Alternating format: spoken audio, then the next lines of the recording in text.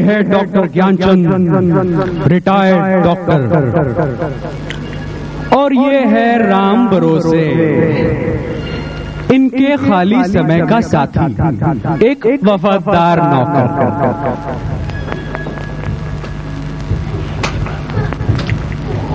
और ये है शैलेश। डॉक्टर की पूरी जायदाद का इकलौता वारिस। इनके साथ है इनकी प्रेमिका मीना जिसके साथ शैलेश की शादी होने वाली है। जायदाद! जी हाँ दोस्तों। फिर एक बार बात जायदाद पर आकर रुक गई है। और जहाँ जायदाद की बात हो वहाँ। वैसे तो आज तक कहानियों में हमने कंस मामा का नाम सुना है।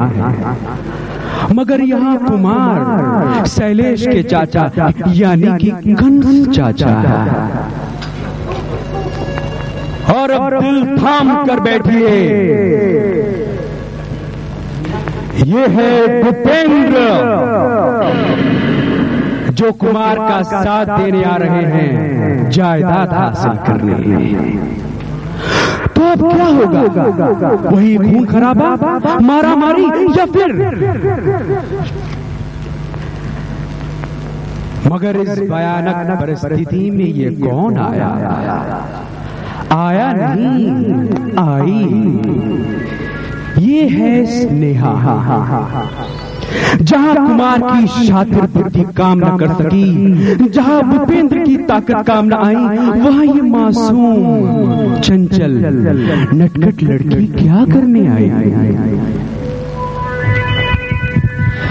तो दोस्तों, इसी रहस्य की कड़ियों को खोलने, उधेड़ने और ताने बाने को सेट करने आपके सामने पेश किया जा रहा है। नरेंद्र साधोनी द्वारा लिखित, डायरेक्ट किया हुआ सीधे रास्ते टेढ़ी चाल।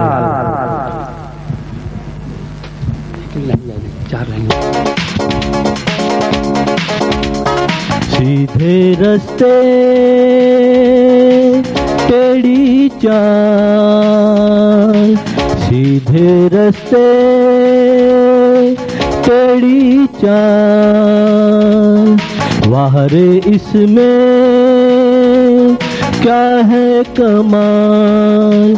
वाहरे इसमें क्या है कमाल। होता सबका है बुरा हाल, होता सबका है बुरा हाल। यान ज़िंदगी की जंजाल, यान ज़िंदगी की जंजाल। सीधे रस्ते टेढ़ी चाल। सीधे रस्ते टेढ़ी चाल। सीधे रस्ते चाल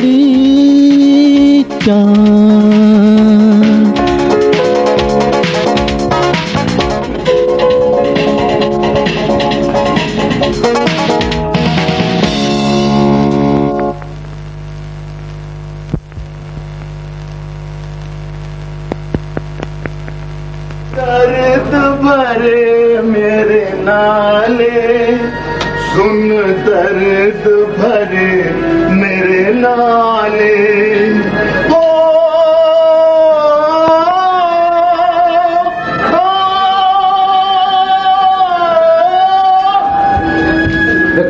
की तरह बांग दे रहे हो? सरकार आप भी तो बहुत ऊँचा सुनते हैं इसलिए मैं मोहम्मद रफी की तरह गाने की ट्राई कर लिया था। भाई ऊँचा ज़रूर सुनते हैं। समझे? मगर बहरा नहीं हूँ। सरकार एक बात तो बताइए पूछो क्या कहना आपके पास बहुत मरीज़ आते होंगे। तरह तरह के तरह तरह के तरह तरह के। मान ले अगर आपके पास कोई बहरा मरीज़ आ गया तो आप उससे पैसे कैसे मांगते हैं? भाई ज़ोर से बोलना पड़ता था। और अगर वो फिर भी न सुने तो? क्या कहा? और अगर वो फिर भी न सुने तो? भाई क्या कहा? और अगर फिर भी न सुने तो? भाई तो उसे लिख कर देता था। और उसे पढ़ना ना आता हो तो। पढ़ना ना आता हो तो? भाई सब तेरी तरह जाहिल नहीं होते। समझे? मैं जेब से इतने ही पैसे निकाल कर दिखाता कि ये तेरी फ़ीस है। और अगर वो डाकू हुआ तो? मेरे बिन पेंदे के ढोल इधर आ। अगर गुम्बा कैंची इस तरह मांगेगा तो अंधा कैसे मांगेगा? ये तो बहुत इजी है सरकार। वो वो इस तरह मांगेगा। अपनी जबान से नहीं बोल सकते? हैं? मेरे गूँगे शेर? नमस्ते भाई साहब। भाई साहब मैंने कहा नमस्ते। नमस्ते नमस्ते। भाई इतना चिल्ला क्यों रहे हो? भाई साहब दो बार तो बोल चुका। भाई तो क्या नमस्ते बोलने पर कोई परमिट है? तीसरी बार भी बोलते? ओ अ, अ, तुम तुम यहाँ खड़े खड़े क्या कर रहे हो? जाओ अंदर जाओ। भाई साहब मैं देखा आपने इसको सर पे चढ़ा रखा है। भाई ये राम भरोसे है। काफ़ी समझदार है मगर मुझे बेवकूफ़ बनाने की सोचता है। हम्म, भाई साहब आपको पता नहीं पैर की जूती पैर में ही रहता ठीक लगती है। वैसे तुम्हें इस बात से कोई सरोकार नहीं होना चाहिए। वैसे मेरी नज़र में सब बराबर हैं। भाई नौकर हुआ तो क्या हुआ? आखिर उसके सीने में भी दिल है जिसे मैं तोड़ना नहीं चाहता। वाह भाई साहब आप तो जीनियस हैं। आपकी बातें तो उमदा हैं। वाह। तुम्हें फिर कोई चेक पे दस्तखत चाहिए? वो भाई साहब वैसे ये खुशामद करना छोड़ दो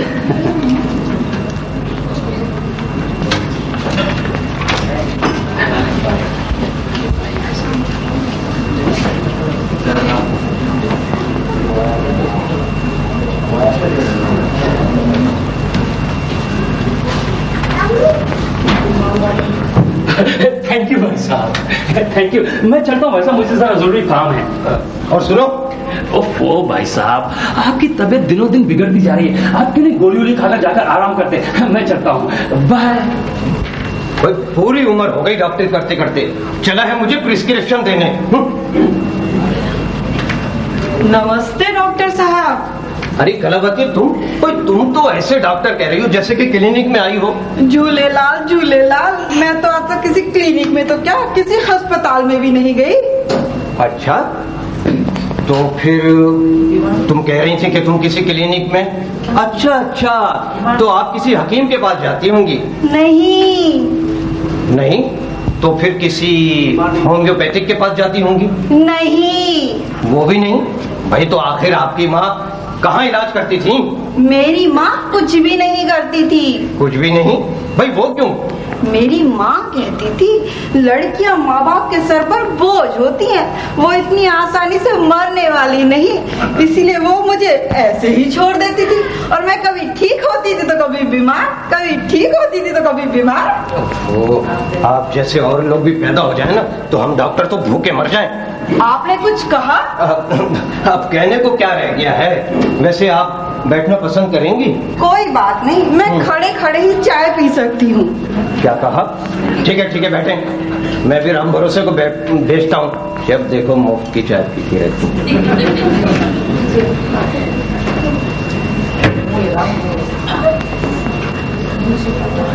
मुझे पता है। मुँह आराम भरोसे आने वाला नहीं है।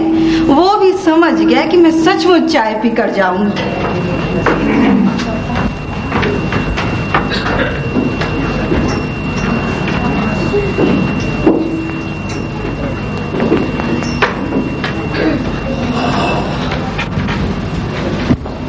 नमस्ते वो तुमसे मैंने कहा है मैं धुमार नहीं कुमार हूँ कुमार। नाम में क्या रखा है? पिताजी कहते हैं कि आदमी अपने काम से पहचाना जाता है। बड़े ही समझदार है। इसीलिए तो इसीलिए तो वे कहते हैं कि आपका नाम कुमार नहीं अच्छा कंजू मामा होना चाहिए। अबे तुम्हारे पिता तो जाहिल और बदतमीज है। क्या हुआ? आपने मेरे की गाली दी। गाली नहीं होती। हाँ? हाँ। तो आज से मैं आपको भी जाहिल कहूँगा जाहिल अंकल जाहिल अंकल जाहिल अंकल। बेटे बेटे अब तुम जाओ मुझे ज़रूरी काम है। Uncle uncle? हाँ। मुझे आपसे एक बात करनी थी। अब कर भी डालो जरा जल्दी करो। शर्म आती है। ओफो चंपक जल्दी करो। मुझे है ना शादी करनी है। ओफो चंपक बेटे बच्चे शादी नहीं करते जवानों की शादी होती है समझे? तो क्या आप भी बच्चे हैं बच्चा अंकल बच्चा अंकल? क्या मतलब है तुम्हारा? आपकी भी तो शादी नहीं हुई। बेटे ऐसी शादी करने से क्या फ़ायदा जिससे तुझ जैसी औलाद पैदा हो? जाओ मैं तुझे लॉलीपॉप ला कर दूँगा समझे? Uncle uncle uncle. एक को बात कर लिए। ओफो वो वो भी कर डालो। मेरा एक दोस्त है। अच्छा? वो कहता है कि कि शादी के बाद आदमी की पूरी बॉडी लॉलीपॉप की तरह खिंचती रहती है। लॉलीपॉप की तरह ने जाओ यहाँ से लॉलीपॉप की तरह घिसती रहती है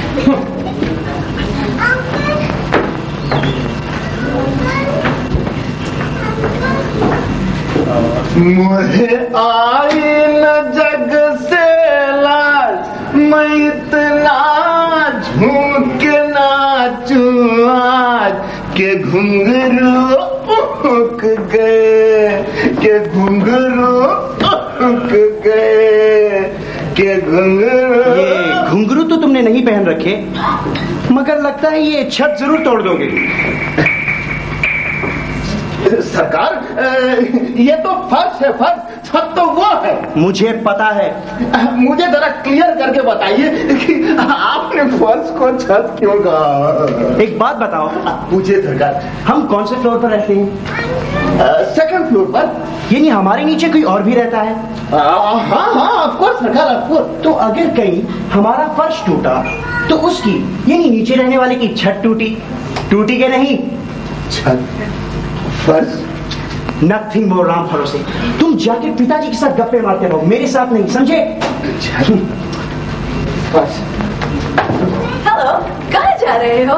ओह व्हाट अ कोइंसिडेंस मैं तुम्ही से मिलने आ रहा था। What a joke. तुम हमेशा आने से पहले फ़ोन करते हो। वो तो है मगर नो एक्सक्यूज प्लीज़ क्या बैठने के लिए नहीं कहोगे? अरे मालकिन बैठिए बैठिए बैठिए बैठिए बैठिए।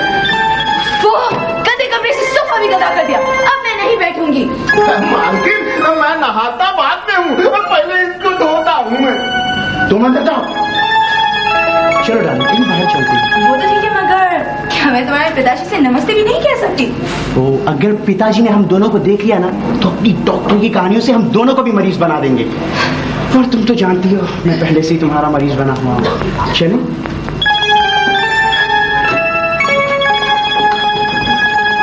राम भरोसे? जी सरकार। ये सैलेश किसके साथ जा रहा था? ये मी, मीना सरकार मीना। मीना? अच्छा। मीना कौन? सरकार मीना मीना। ओफो सैलेश उसे कब से जानता है? पता नहीं सरकार कब से जानते हैं मगर जब से जानते हैं तब से जानते हैं। तुम मेरा सर मत खाया करो। जाओ जाकर भाई साहब का सर खाओ। जाओ यहाँ से। जाओ।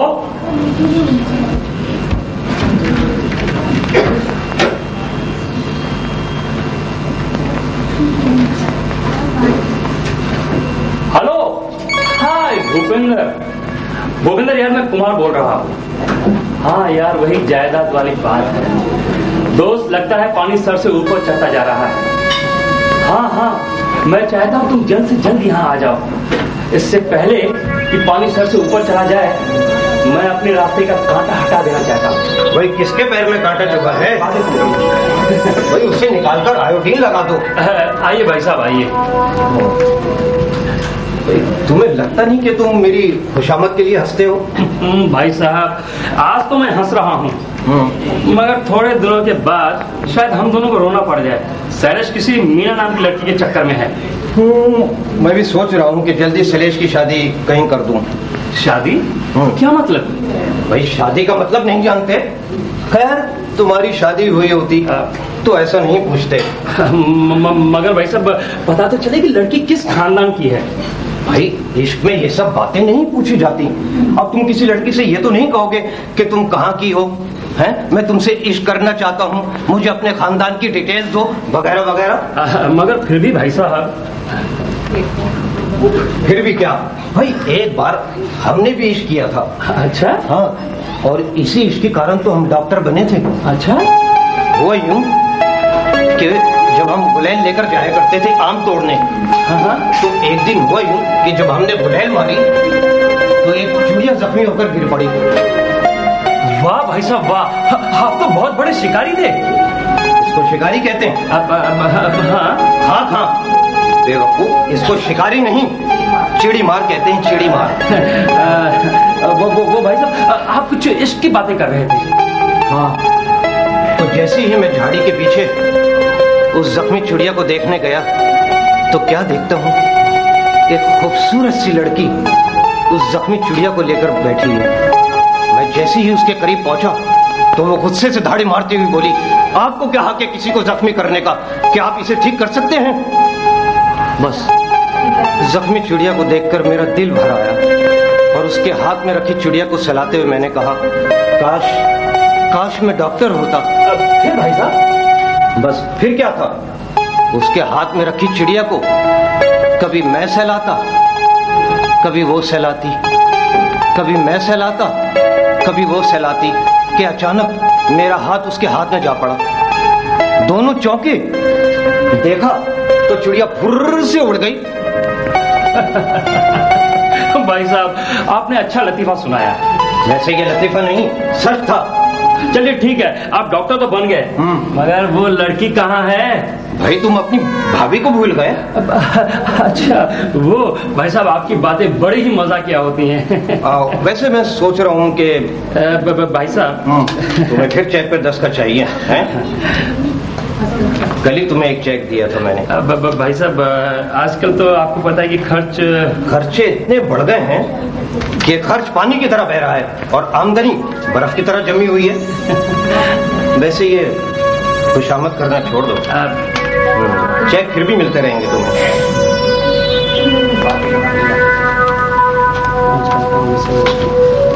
मैं चाहता हूँ कि सुरेश की शादी जल्द से जल्द करके जायदाद उसे सौंप दूँ ताकि इसके बाद फिर मैं आराम करूँ शादी? ज- जायदाद? हाँ। म- मतलब हाँ हाँ भाई शादी। बस एक बार वो शादी कर ले। ठीक है भाई साहब मैं चलता हूँ। हाँ हाँ तुम चलो। एक बार सलेश शादी कर ले सब ठीक हो जाएगा। कहाँ थे तुम? मैं मीना के साथ था पिताजी। क्या कहा? मीना पिताजी मीना। क्या? कमीना? मैं मीना की बात कर रहा हूँ पिताजी। कौन है कमीना? ओ, पिताजी मैं मीना की बात कर रहा हूँ। अच्छा अच्छा। भाई तो फिर का की बात कौन करेगा? कभी कभी तो लगता है आप सब ठीक से सुन सकते हैं। हाँ वो तो ठीक है बेटे। बाकी तुम्हारी बातें तो मैं लीप मूवमेंट से समझ जाता हूँ। अच्छा ये बताओ कहाँ गए थे? अ, बाहर पिताजी। हम्म। मीना शादी के लिए ज़ोर दे रही है। उसके माँ बाप आपसे मिलना चाहते हैं। बेटे मैं भी सोच रहा हूँ कि जल्द से जल्द तुम्हारी शादी करके ये जायदाद तुम्हें सौंप कर आराम करूँ और मेरे सर से बोझ भी हटे। अ, वो तो बात की बात है पिताजी। क्या मैं मीना के घर वालों को ले आऊँ? क्या कहा? शादी से पहले ये गुस्ताखी? नहीं नहीं पिताजी मेरे कहने का मतलब है कि वो दो चार दिन यहाँ रहेगी और दो चार दिन? वैसे ये बात बताओ मीना है कैसी लड़की? वैसे मुझे तुम पर विश्वास ज़रूर है मगर फिर भी हाँ हाँ पिताजी। हम्म, मीना चौदहवीं का चाँद है। सितारों में तैरता एक चाँद जैसे झील में तैरता फूल। झील में उतरने से पहले जूते उतार दे कहीं गिले ना हो जाए। पिताजी वो अब पिताजी मैं मीना को दो चार दिन के लिए घर लेकर आना चाहता हूँ। वो यहाँ रहेगी पिताजी दो चार दिन यहाँ रहेगी। दो चार दिन यहाँ रहेगी? हैं? शादी से पहले? तू तू तो बहुत ही हो गया है शादी से पहले पिताजी, जो- please। वो तो मुझसे भी दो हाथ ये क्या? घर के पकड़ा पकड़ी? तू तो मुझसे भी दो हाथ आगे है हैं? बाप बेटे में चोचलेबाजी हो रही है। हम कोई कबूतर है क्या?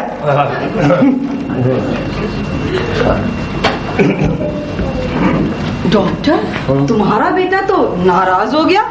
क्या कहा? तुम्हारा बेटा तो नाराज़ हो गया। क्या? अ, तुम कुछ कह रही थी? कबूतर बहरा भी होता है क्या?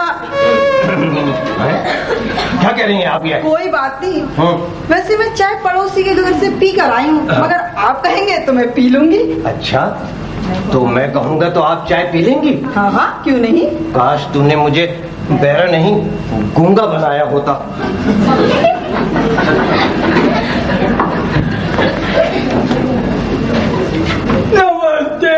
चाची बंदर की तरह क्या कूद रहा और ये चाची किसे कहा? यहाँ तो आपके सिवा और कोई नहीं आप ही को ये हमारी बंदर की तरह दांत निकाल कर क्या हंस रहा है? तेरा मतलब है यहाँ जो भी खड़ा होगा तू उसे चाची बोलेगा? Of course of course yes doctor खड़ा होगा तो भी? डॉक्टर? तो उनको अंकल कहूँगा। और अगर कोई लड़का खड़ा हुआ तो? तो भाई साहब? और अगर कोई लड़की खड़ी हुई तो? तो तो तो, तो, तो बहन कहूँगा। तो उनको मैं डियर कहूँगा। तो बुआ शर्माता क्यों है? बोलो ना वरी। चाची आपको आपको डियर बड़ी चाची बोला अरे क्यों डॉक्टर ने तुमको बताया नहीं नहीं तो। लगता है वो भी समझ गया है। मैं सचमुच चाय पी कर जाऊँगी क्या कहा? कुछ नहीं मैं चलती हूँ।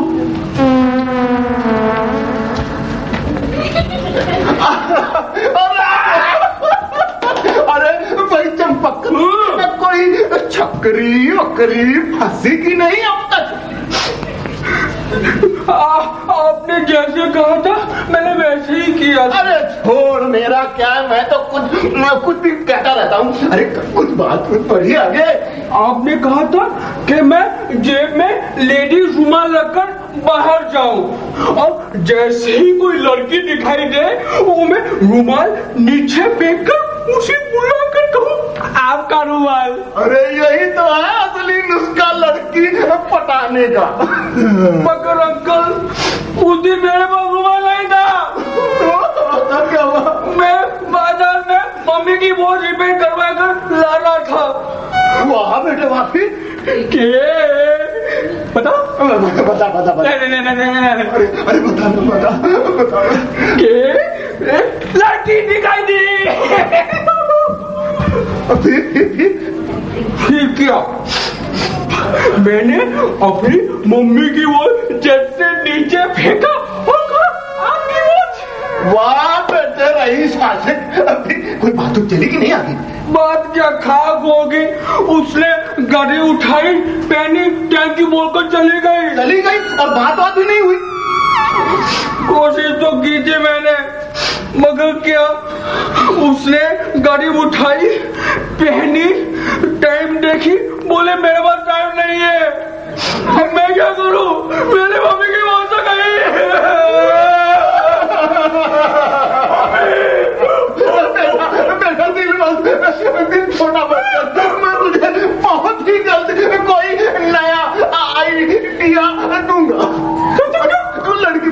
ही हाँ पागल गई आज तक मैंने कभी लड़की नहीं पटवाई बात करता है बात करता बात करते है आज तक मेरे लड़की नमस्कार। आप कुमार बाबू घर पर हैं? आ- आ- आ- आ- आपको किससे मिलना है? भाई हम कोई बिल्डोजर हैं जो हमें देखकर तुम इतना घबरा रहे हो। आपको किससे मिलना है? तो क्या आपका नाम भी कुमार बाबू है? अरे नहीं नहीं नहीं नहीं नहीं हम तो हम तो राम भरोसे हैं। तो जाओ अंदर और जल्दी से कुमार बाबू को बुला के लाओ। आप बैठिए मैं अभी उनको बुलाता हूँ। ये आपको पूछ रहे थे। ठीक है तुम अंदर जाओ। जाओ। हाँ कुमार बाबू। आप बताइए क्या बात यार भूपेंद्र तुम्हें यहाँ नहीं आना चाहिए था। इससे अच्छा होता कि हम बाहर ही मिलते। कमाल करते हो कुमार बाबू। तुम्हारा फ़ोन सुनते ही मैं सारे काम छोड़ के चला आया और तुम कह रहे हो कि ठीक है अगर तुम कहते हो तो। अब नहीं नहीं नहीं नहीं यार तुम जाओ मत एक बार तुम बाहर क्या गए तुम्हारा मिलना मुश्किल हो जाता है। तो ये बताओ कुमार बाबू के असल बात क्या है? दोस्त वही जायदाद का चक्कर है। जायदाद? फिर वही जायदाद? हाँ। ये तुम हंस क्यों रहे हो? हंसू नहीं तो क्या करूँ कुमार बाबू? पिछली बार भी सोने के अंडे के कारण मुर्गी को मार डाला। मगर हमारे हाथ सोना तो क्या? मट्टी का एक ठेला भी नहीं आया। तब यार मुझे क्या पता था कि पिताजी ने जायदाद भाई साहब के नाम कर दी है। मुझे लगा यहाँ पिताजी मरे और वहाँ जायदाद मेरे हाथ लगी। चलो खैर जायदाद तो हाथ लग जाएगी ये बताओ कि इस बार क्या चक्कर है? यार तुम तो जानते हो कि मैं भाई साहब के टुकड़ों पर पड़ रहा हूँ। जब तक भाई साहब ज़िंदा हैं तब तक मेरी ऐश है। एक बार भाई साहब ने अगर जायदाद शैलेश के नाम कर दी तो मेरा पत्ता ही कट गया समझो। वैसे शैलेश मुझे लाइक नहीं करता। कुमार बाबू एक बात बताइए आपको लाइक कौन करता? भूपेंद्र सभी लाइक करते हैं सभी। ठीक है ठीक है। मेरा ख्याल है असल मकसद की तरफ़ आओ जिसके लिए तुमने मुझे यहाँ बुलाया है। मैं चाहता हूँ कि इससे पहले भाई साहब जायदाद शैलेश के नाम कर दें। हम भाई साहब का काम तमाम कर दें। लेकिन इससे क्या फ़र्क पड़ेगा? यार। जायदाद तो फिर भी सैलिश के नाम ही रहेगी ना? तो ठीक है मगर तब उसके सर पर बाप का साया नहीं होगा। और चाचा? चाचा तो बाप के बराबर ही होता है ना? तब हो सकता है कि वो मेरी इज़्ज़त करना शुरू कर दे। एक बात सोच के बताओ कुमार बाबू। हाँ। कत्ल करने के अलावा कोई और चारा नहीं? अब बिल्कुल नहीं। वैसे भाई साहब ने भी लड़की देखी हुई है। अच्छा। तो ये बताओ कि अगर ये सारी जायदाद हम्म। डॉक्टर बाबू ने पहले ही सैलिश के नाम कर दी हो तो फिर क्या होगा? हम्म, आज ही भाई साहब कह रहे थे कि शैलेश की शादी के बाद वे जायदाद उसके नाम कर देंगे। तो ये तो बेवकूफ़ी कुमार बाबू। फिर हम कत्ल करके अपने हाथ क्यों रंगीन करें? भाई सीधी सी बात है हम ये शादी रुकवा देते। ऐसा करना मुश्किल है क्यों? भाई साहब ने भी लड़की देखी हुई है। समझे? लड़की देखी है तो क्या हुआ कुमार बाबू? लड़की तो दूसरी भी आ सकती। बकवास। क्या? दूसरी लड़की? क्या मतलब है तुम्हारा? हमारी बात गौर से सुनो कुमार बाबू। हम अपनी एक पहचान वाली लड़की को डॉक्टर बाबू की देखभाल के लिए तुम्हारे घर भेजेंगे। वो इस घर में रहकर ऐसा चक्कर चलाएगी कि सैलिश बाबू अपनी छोकरी को तो क्या दुनिया की सारी लड़कियों को बिल्कुल भूल जाए। ऐसा होना नामुमकिन है। भूपेंद्र ऐसा होना नामुमकिन है। भाई साहब ने लड़की देखी हुई है। और बड़ा भाई साहब उस लड़की के साथ शैलेश की शादी क्यों कर करेंगे जिसे उन्होंने देखा लड़की देखी है तो क्या हुआ? लड़की तो दूसरी भी आ सकती। भूपेंद्र। और ये शादी वादी की कोई मसला नहीं है। कुमार बाबू डॉक्टर बाबू की ज़िंदगी फिर भी लड़की के हाथ में रहेगी। चलो ठीक है यार उस लड़की को तुम कब भेज रहे हो? कुमार बाबू वो लड़की आपके लिए नहीं आ रही। ओफो ठीक है भूपेंद्र जितना जल्दी हो सके ये काम करो। और बात सुनो इस बात का किसी को पता तो नहीं चलना चाहिए। पता तो कुमार बाबू पहले भी नहीं चला था। अच्छा मैं चलता हूँ। नमस्कार। हाँ वो लड़की जो इस घर में आएगी, उसका नाम स्नेहा है। नमस्कार। काश इस बार मेरा चलाया हुआ तीर ठीक निशाने पर बैठे। भूपेंद्र पे मुझे बिल्कुल विश्वास है। हेलो अंकल हेलो अंकल इससे मिलिए। ये है अ, अच्छा अच्छा। भाई वाह। हमारे भतीजे और हमी से बात छुपाई। वो अंकल मैं ठीक है तुमने इनको भाई साहब से मिलवा दिया। मुझसे क्यों पर्दा किया? वो अंकल बात दरअसल ये है कि हम डॉक्टर अंकल की क्लिनिक में आते जाते थे। बस उसी कारण हम उन्हें जानते हैं। हाँ हाँ, भाई साहब तो तुम्हें जानते हैं मगर ये तुम्हें कैसे जानता है? तो वो अंकल ये क्लिनिक में जब अपने माँ बाप के साथ दवा आती थी अच्छा अच्छा अच्छा अच्छा तुम भी तो क्लिनिक में कंपाउंडरी करने जाते थे क्यों? क्यों मीना? हाँ। तुम कंपाउंडरी करने जाते थे या इश्क लड़ाने? वो अंकल मैं, मैं तो इन्हें दवा देता था दवा बनाकर। ताकि ये जल्दी ठीक हो जाए क्यों? अंकल ये ठीक होने की नहीं जल्दी मरने की दवा देते थे। अब मैं समझा नहीं। क्यों मीना की बच्ची? अंकल मैं तो इसे कड़वी दवा भी मीठी बनाकर देता था। तुम्हारी मीठी दवा से तो तुम्हारी कड़वी दवा ही अच्छी है। अंकल हाँ, हाँ। एक दिन मेरी मम्मी के पैर में मोच आई। डॉक्टर बाबू ने दवा दी पैर पर मालिश करने के लिए मुझे इम्प्रेस करने के लिए। वही दवा इन्होंने मीठी बना कर दी। जब मम्मी ने पैर पर मला इतनी लाल लाल चीटें उनके पैर पर आ गई। मम्मी को फिर डॉक्टर अंकल के पास आना पड़ा दवा लेने क्यों मीना की बच्ची? मेरी ही कंप्लेंट करेगी क्यों? अंकल एक दफ़ा अब पिताजी ने इसे इंजेक्शन लगाने को कहा। अच्छा? इंजेक्शन का नाम सुनकर ये घबरा कर मुझे रिक्वेस्ट करने लगी कि इंजेक्शन ना लगाओ। रिक्वेस्ट रिक्वेस्ट तो मेरी जूती भी ना करे। ओ फिर क्या हुआ? तो फिर क्या था? अंकल पिताजी ने तो इंजेक्शन लगाने को कहा था। इंजेक्शन का नाम सुनकर आप जानते हैं इसने क्या किया? वो क्या किया? ये मुँह खोलकर खड़ी हो गई। इंजेक्शन मुँह खोलकर मैं कुछ समझा नहीं। ये कहने लगी कि इंजेक्शन दबाकर पूरी दवा मेरे मुँह में डाल दो। फिर बात तो एक ही है। दवा चाहे यहाँ से जाए या यहाँ से।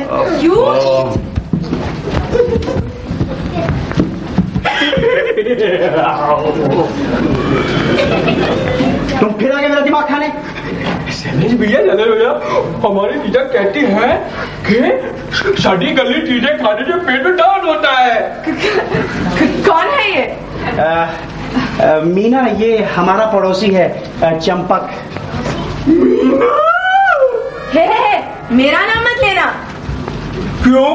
पिताजी कहते हैं कि लड़कियाँ शादी के बाद लड़कों का नाम नहीं लेती। वो मैं तो लड़का हूँ।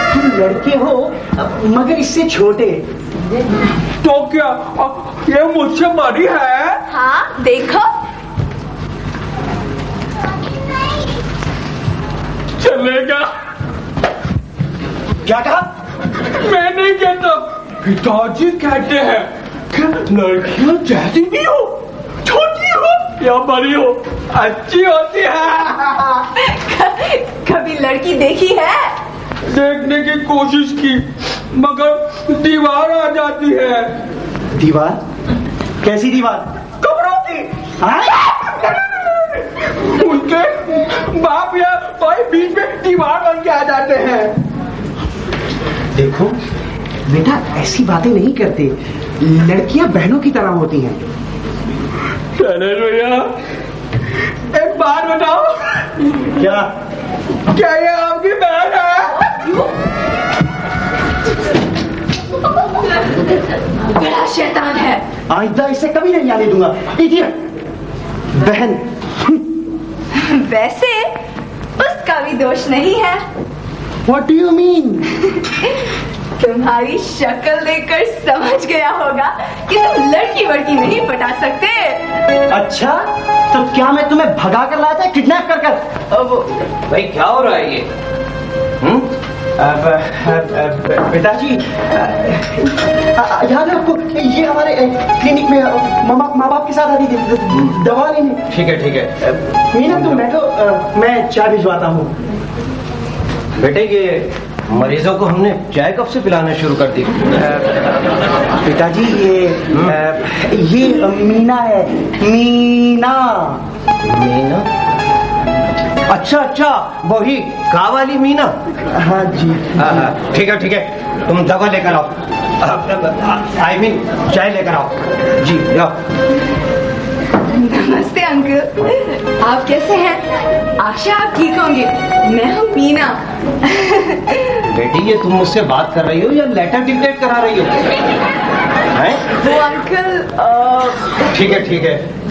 अपने चेहरे से पसीना पोछ लो। तुम्हारी बीपी हाई और नफ्स तेज हो गई है। वैसे घबराने की कोई बात नहीं। बुखार थोड़ी देर में चला जाएगा। बुखार? हाँ। अंकल कैसा बुखार? मतलब ये कि मैं थोड़ी देर में चला जाऊँगा। ओह बेटी मेरी बहुत बड़ी जायदाद है। आ, क्या- हाँ याद आया बेटी। हाँ वैसे सलेश ने मुझे तुम्हारे बारे में सब कुछ बता दिया है। वैसे थोड़े दिन तो यहाँ रहोगी ना? हाँ अंकल वो कह रहे थे कि आप हम्म, कि मैं तुम्हें परखना चाहता हूँ। बेटी मैं कोई जौहरी तो नहीं जो हीरे की परख रख सकूँ। हाँ तुमसे मिलना ज़रूर चाहता था। मुझसे? हाँ। वो क्यों अंकल? वो इसलिए बेटी कि मेरी बहुत बड़ी जायदाद है जिसका इकलौता वारिस सिर्फ़ और सिर्फ़ सलेश है। वो अभी ना समझ है। इतनी बड़ी ज़िम्मेदारी पाकर कहीं वो घबरा ना जाए। इसलिए मरने से पहले मैं चाहता था कि ये बात तुम्हारे इल्म में भी आ जाए ताकि मेरे मरने के बाद मेरी जायदाद और कारोबार को कैसे संभाला जाए। मगर अंकल आपके होते हुए? हमें कैसी चिंता? बेटी जो खुद चंद रोज का मेहमान हो वो भला दूसरों को मेहमान कैसे समझेगा?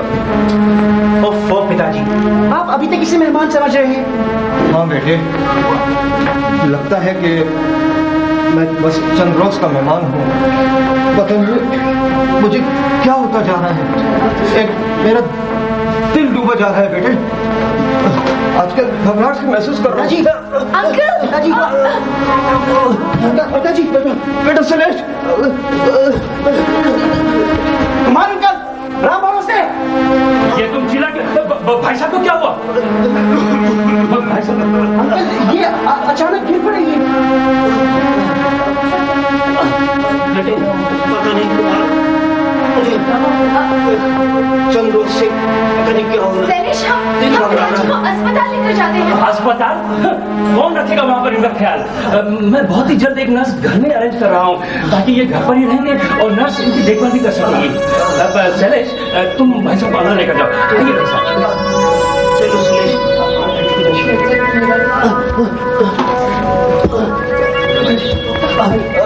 कुमार हाँ भाई साहब। तुम कड़ी वकील को बुला लो। वकील भाई साहब वो क्यों? अ, कुमार मैं मरने से पहले वसीयत लिखना चाहता हूँ। मगर भाई साहब आपने तो कहा था कि शादी के बा- बाद शादी तो बाद में भी हो सकती है। जल्दी करो। इससे पहले कि मुझे कुछ हो जाए। ठीक है। हाँ, जी। भाई साहब को अंदर लेकर जी पिताजी कुमार जल्दी। हाँ भाई साहब हाँ। हाँ हाँ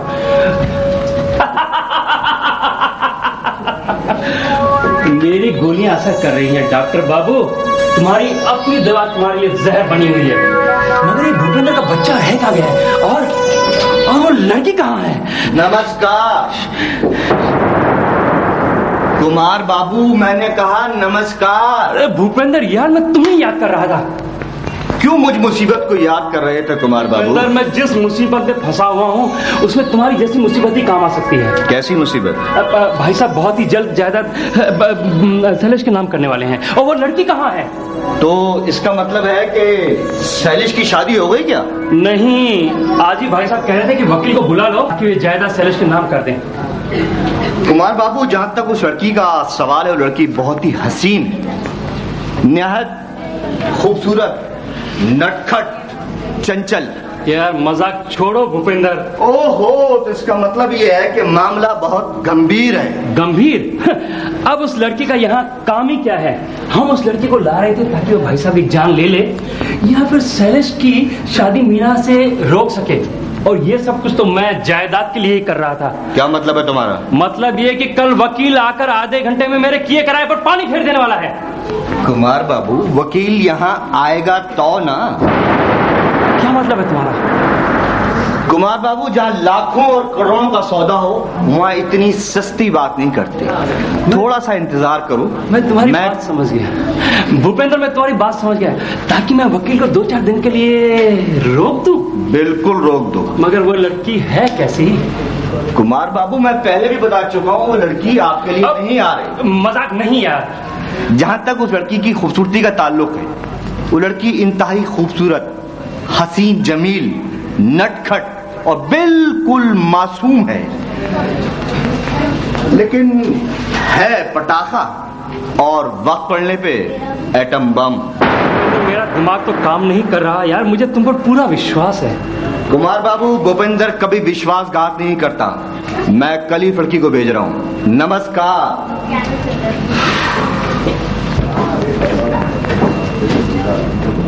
सरकार ये तो वही आदमी था। आदमी तुम ये अपनी बक बक करना छोड़ दो। समझे राम भरोसे से? कौन आया मेरे मन के द्वारे? पायल की झनकार लिए कौन आया मेरे मन के द्वार? कहाँ मर गए थे तुम? और अब यहाँ क्या कर रहे हो? सरकार अगर मैं मर गया था तो यहाँ क्या कर सकता हूँ? राम भरोसे दिन ब दिन तुम्हारी बकवास बढ़ती जा रही है। जानते नहीं कि पिताजी की तबीयत सख्त खराब हो गई थी? डॉक्टर की तबीयत खराब तो सरकार उन्होंने खुद को ही गलत दवा दे दी होगी। ये गधे की तरह क्यों हंस रहा है? भाई? सरकार सरकार गधा भी कभी हंसता? है अच्छा राम भरोसे? हाँ, जी सरकार भाई एक बात बता पूछिए सरकार। तुम साइकिल चलाना जानते हो? साइकिल? ये सब की बकवास दिन ब दिन बढ़ती जा रही है और आपने देखा नहीं? ये कितना काम चोर होता जा रहा है? हाँ तो राम भरोसे ये बताओ। हाँ हाँ पूछिए। कि जब तुम यूँ साइकिल लेकर जाते हो जी सरकार। तो एक किलोमीटर के लिए जी सरकार आधा घंटा लगता है। जी सरकार और जब यूँ वापिस आते हो तो वही एक किलोमीटर के लिए तीस मिनट लगते हैं। क्यों? ये तो बहुत आसान है सरकार। जब हम यूँ जाएँगे और जब हम यूँ आएँगे तो टाइम डिफरेंस तो होगा ना मालूम बुद्धू अंकल कह रहे हैं कि जाते वक्त अगर तुम्हें साइकिल पर आधा घंटा लगता है तो आधे वक्त उसी रास्ते पर तुम्हें तीस मिनट क्यों लगते हैं? ये तो बहुत ही आसान है मालिक लेकिन बात यह है कि जब हम जाते वक्त हैं हम बहुत फुर्तीले थे दूध दूध पिए हुए थे और आते वक्त हम थोड़ा थक थुका गए थे।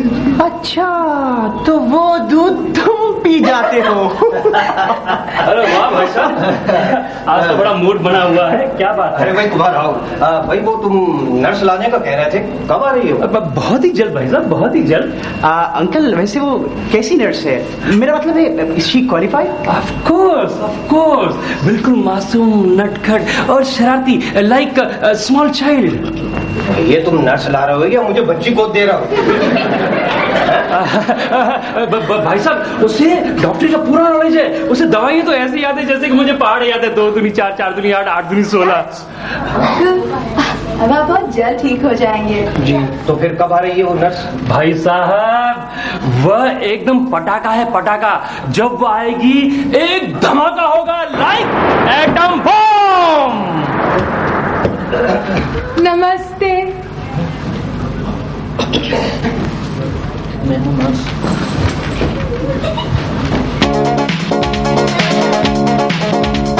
नकली रूप से नकली चाल से हाल छुपाना रहता।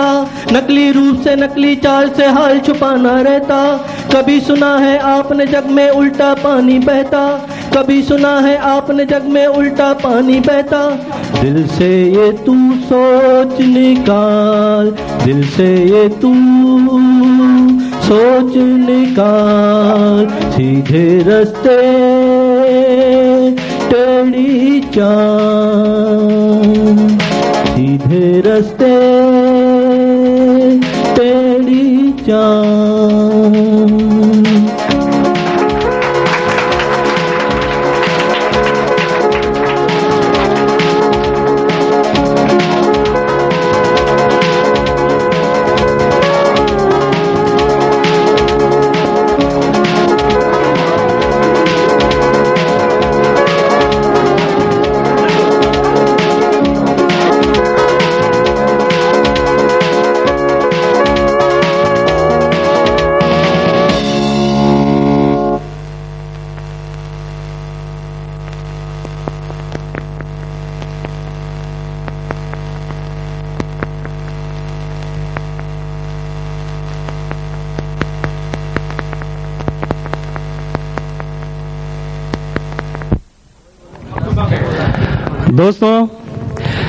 था सीधे रास्ते टेढ़ी चाल का पहला अंग। जैसा कि आप जानते हैं कि इस प्रोग्राम को पेश कर रहे हैं प्रकाश लुला और कमलेश राजा ने और इसे स्पॉन्सर किया है Krishna real estate consultants of Bombay dealers in property. इनकी सिस्टर कंसर्न्स दुबई में हैं। नरदीन textile trading नरदीन textile trading branch, platinum trading establishment, textiles, platinum trading establishment, electronics. जी हाँ।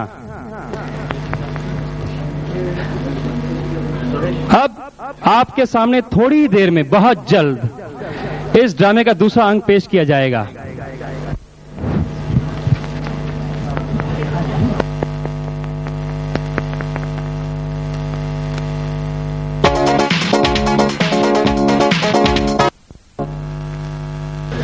तुम मुझे उड़ाने के लिए लाए हो? भाई साहब शी इज़ वेरी जीनियस बस थोड़ी सी शरारती है। मेरा सर धर से फटा जा रहा है और वो अभी तक नहीं आई। वो वो वो आगे आगे। सरदर्द मुझे नहीं भाई साहब को है। शराब आप यहाँ बैठिए। और आप एक से सौ तक गिनती गिनिए। गिनिए एक दो तीन चार बेटी हमने क्या केजी में दाखिला लिया है? आपको गुस्सा किसके कारण हुआ? इनके कारण। क्योंकि आपको इन पर गुस्सा है। और बड़े कहते हैं कि जब गुस्सा आए ना तो एक से दस तक गिनती करनी चाहिए। मगर तुमने तो इनको एक से सौ तक गिनने के लिए कहा है। आप अपना सर का ख्याल करें। हाँ तो डॉक्टर बाबू गिनती। मगर बेटी वो तो इंटरनल प्रॉब्लम है। इंटरवल फिंटरवल कुछ नहीं। मैं इनका सर दर्द खत्म करके आपके जड़ से उखाड़ दूँगी। गिनती। ग्यारह बारह तेरह चौदह भाई साहब आप बारह के बाद तेरह चौदह के बाद पंद्रह पंद्रह के बाद सोलह। खामोश सर दर्द मुझे है। बेटी ये बैग मेरे सर पे रख दो। आपको सदर किसके कारण हुआ? इनके कारण? हाँ। क्योंकि आपको इन पर गुस्सा था क्यों? हाँ। गिनती। इक्कीस तेईस छब्बीस अट्ठाईस तेईस और चौबीस के बाद पच्चीस। कुमार बाबू ये जो नंबर मिस करे आप इनको बोलिए। मैं अभी आई। अट्ठाईस उनतीस भाई साहब भाई साहब अट्ठाईस के बाद उनतीस उनतीस के बाद तीस तीस के बाद इकतीस अब मुझे तुमसे गिनती सीखना पड़ेगी। तो भाई साहब मैंने थोड़ी कहा था आपको गिनने के लिए। ये तो उसने कहा। तो इस भला को लाया कौन था? पचास इक्यावन इकतालीस बयालीस चौवालीस चौवन पैंतालीस। डॉक्टर बाबू। ये काढ़ा पीजिए। नहीं नहीं ये तुम कुमार को पिला दो। भाई साहब मेरे सर का दर्द ठीक हो गया? मैं ठीक हो गया हूँ। मैं जा रहा हूँ मैं जा रहा हूँ। लीजिए पीजिए। बेटी तुम पेनाडोल की गोली ला दो तो मुझे सर दर्द में ठीक हो जाऊँगा। गो गो। गो वो कुछ नहीं। ये काढ़ा गले के लिए अच्छा है। लीजिए। नहीं बेटी बेटी तुमने मुझे एक से सौ तक गिनती गिनने को कहा और गुस्सा ठंडा करने को कहा। अब ये मेरा गला कब खराब हुआ? मैंने सुना है कि गुस्से में आदमी तू तू मैं में बहुत करता है इसलिए गला खराब हो जाता है। लीजिए पीजिए। बेटी ये अच्छा तुम कहती हो तो पी लेता हूँ। क्या? बेटी ये कड़वा भी है और नमकीन भी। मुझे पता है शक्कर नहीं मिली इसलिए नमक डाल के लाई अच्छा अब आप जाकर सो जाइए। बेटी अभी तो शाम भी नहीं हुई। फिर मैं क्यों सोऊं? मुझे नींद आ रही है। मैं नहीं चाहती कि आप मुझे बार बार बुलाकर डिस्टर्ब करें। इस तरह तो मेरी माँ ने भी मुझे सोने के लिए नहीं कहा था। कैसे है पिताजी? बेटे थोड़ी देर पहले तो ठीक था। क्या हुआ आपको? आप तो बिल्कुल ठीक थे। उल्टी का ख्याल हो रहा है। हाँ। लगता है कुछ गलत खा लिया है। बेटे गलत खाया नहीं गलत पी लिया। क्या मतलब? बेटे ये जो ये तुम्हारी नर्स है ना? आपकी? हाँ हाँ बेटे हमारी पता नहीं तुम लोगों के साथ कैसा सलूक करे? मैं मैं समझा नहीं पिताजी। आप क्या कह रहे हैं? बेटी, अगर तुम खांसोगी ना तो वो गोली मीना को देगी। मेरा मतलब है तुमको देगी। और अगर मीना बेटी के पैर में दर्द होगा ना तो राम भरोसे को पैर पर मालिश करने के लिए तेल देगी। और अगर उसने गर्म तेल मालिश करने के लिए दिया ना तो बेचारे राम भरोसे का क्या होगा? कुछ समझ में नहीं आ रहा आप क्या कह रहे हैं? बेटी मुझे मेरी डॉक्टरी समझ से बाहर लग रही है। इन्हीं को क्वालिफाइड नर्स नहीं है। वो क्वालिफाइड तो क्या? अनक्वालिफाइड भी नहीं है। क्या मतलब? उसके रंग ढंग हाँ पहले ही समझ गई थी कि वो नर्स नहीं हो सकती। मगर कुमार अंकल ऐसी वैसी लड़की को क्यों लाएँगे भला? बेटे तुम्हारे अंकल कुछ भी कर सकते हैं। बचपन में उसने एक दिन जिद की थी कि उसे कुत्ता चाहिए। माँ ने काफ़ी समझाया कि घर में हम कुत्ता नहीं रख सकते। लेकिन वो नहीं माना। और एक दिन कुत्ता ले बिल्ली ले आया। बिल्ली? हाँ। मगर कुमार अंकल को तो कुत्ता चाहिए था। हाँ बेटी बाद में पता चला कि वो खुद भी कुत्ते से डरता है। इसीलिए पूरा दिन बिल्ली को कहता टॉमी भौंबो टॉमी भौंबो और एक करना भूल गई। पिताजी अगर अगर वो नर्स आप उसका इंटरव्यू तो ले लीजिए। अगर वो नर्स के लिए फिट ना हो तो आप उसे निकाल क्यों नहीं देते? ये बात ठीक है। कुमार अंकल शायद बुरा मानता और हो सकता है उन्हें खुद भी धोखा हुआ हो। अंकल क्यों ना हम उसे थोड़ा बहुत घर का काम काज सिखा दे? पिताजी की सेवा भी कर लेगी और घर का कामकाज भी। ये सही है पिताजी। जो तुम्हारी मर्ज़ी आए करो। मैं चलता हूँ। वैसे तुम अगर उसे रखना चाहती हो तो ठीक है उसे जो सिखाने सिखाओ। मगर मीना तुम्हें मेहनत बहुत करनी पड़ेगी। कोई बात नहीं आगे चलकर वो मेरा ही हाथ बटा सकती है ना? ओके।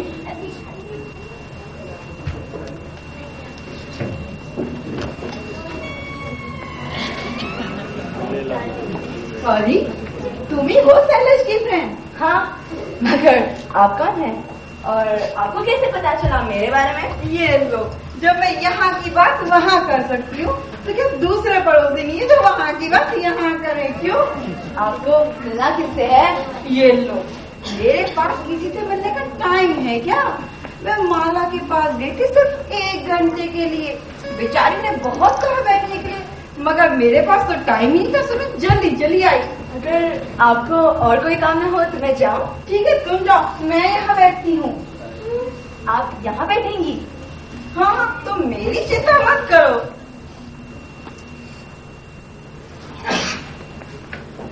ये राम भरोसे छुट्टी पर है क्या? देख के चलो ना, मेरे साथ। सॉरी लगता है तुम नींद से उठकर आए हो। नींद से उठकर आई हूँ। आपको क्या लगा? नींद में चलकर आई हूँ? अरे मुझे चंपक ने तो बताया ही नहीं शैलेश की दो दो गर्लफ्रेंड है। क्या था? गर्लफ्रेंड? देखिए ये डॉक्टर अंकल की नर्स है। नर्स? सच्ची की नर्स? लगता है डॉक्टर ने उसको नींद की गोली दे दी है। ए, किसको नींद की गोली दी है? देखिए। सेहा प्लीज़ ये डॉक्टर अंकल की पड़ोसन है। पड़ोसन ही है ना और कुछ तो नहीं।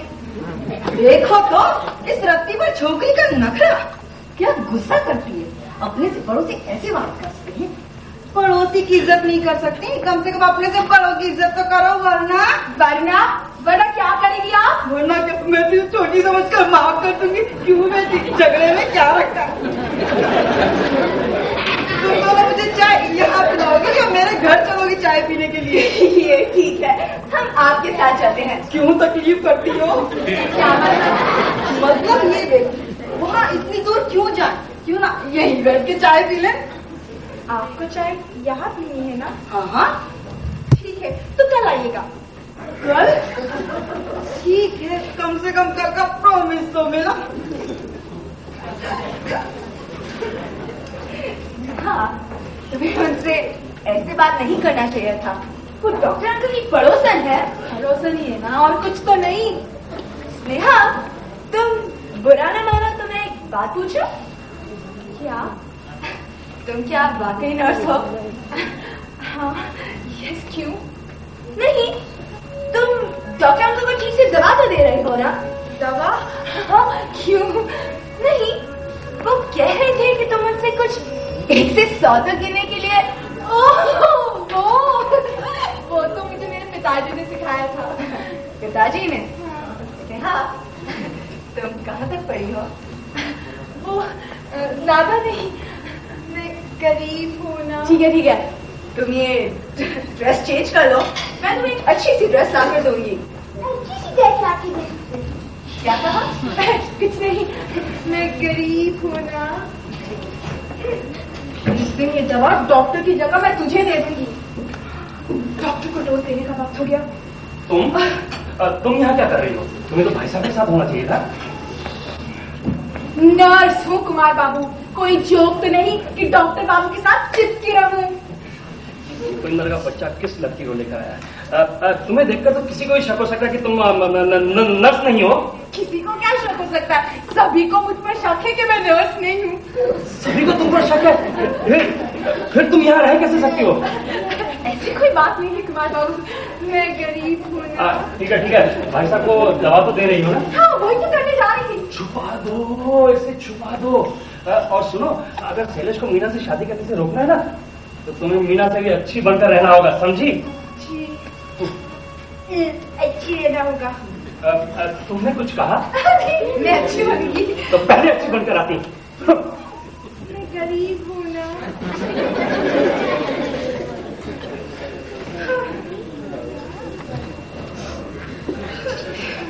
तुम तुम यहाँ क्या कर रही हो? और मेरी दवा का है? यहाँ यहाँ? क्या मतलब? यहाँ यहाँ इसी घर में। इस घर में? कमाल है। लोग अपनी दवा पड़ोसी के घर में भी रखते हैं। जाकर दवा लाओ। ठहरो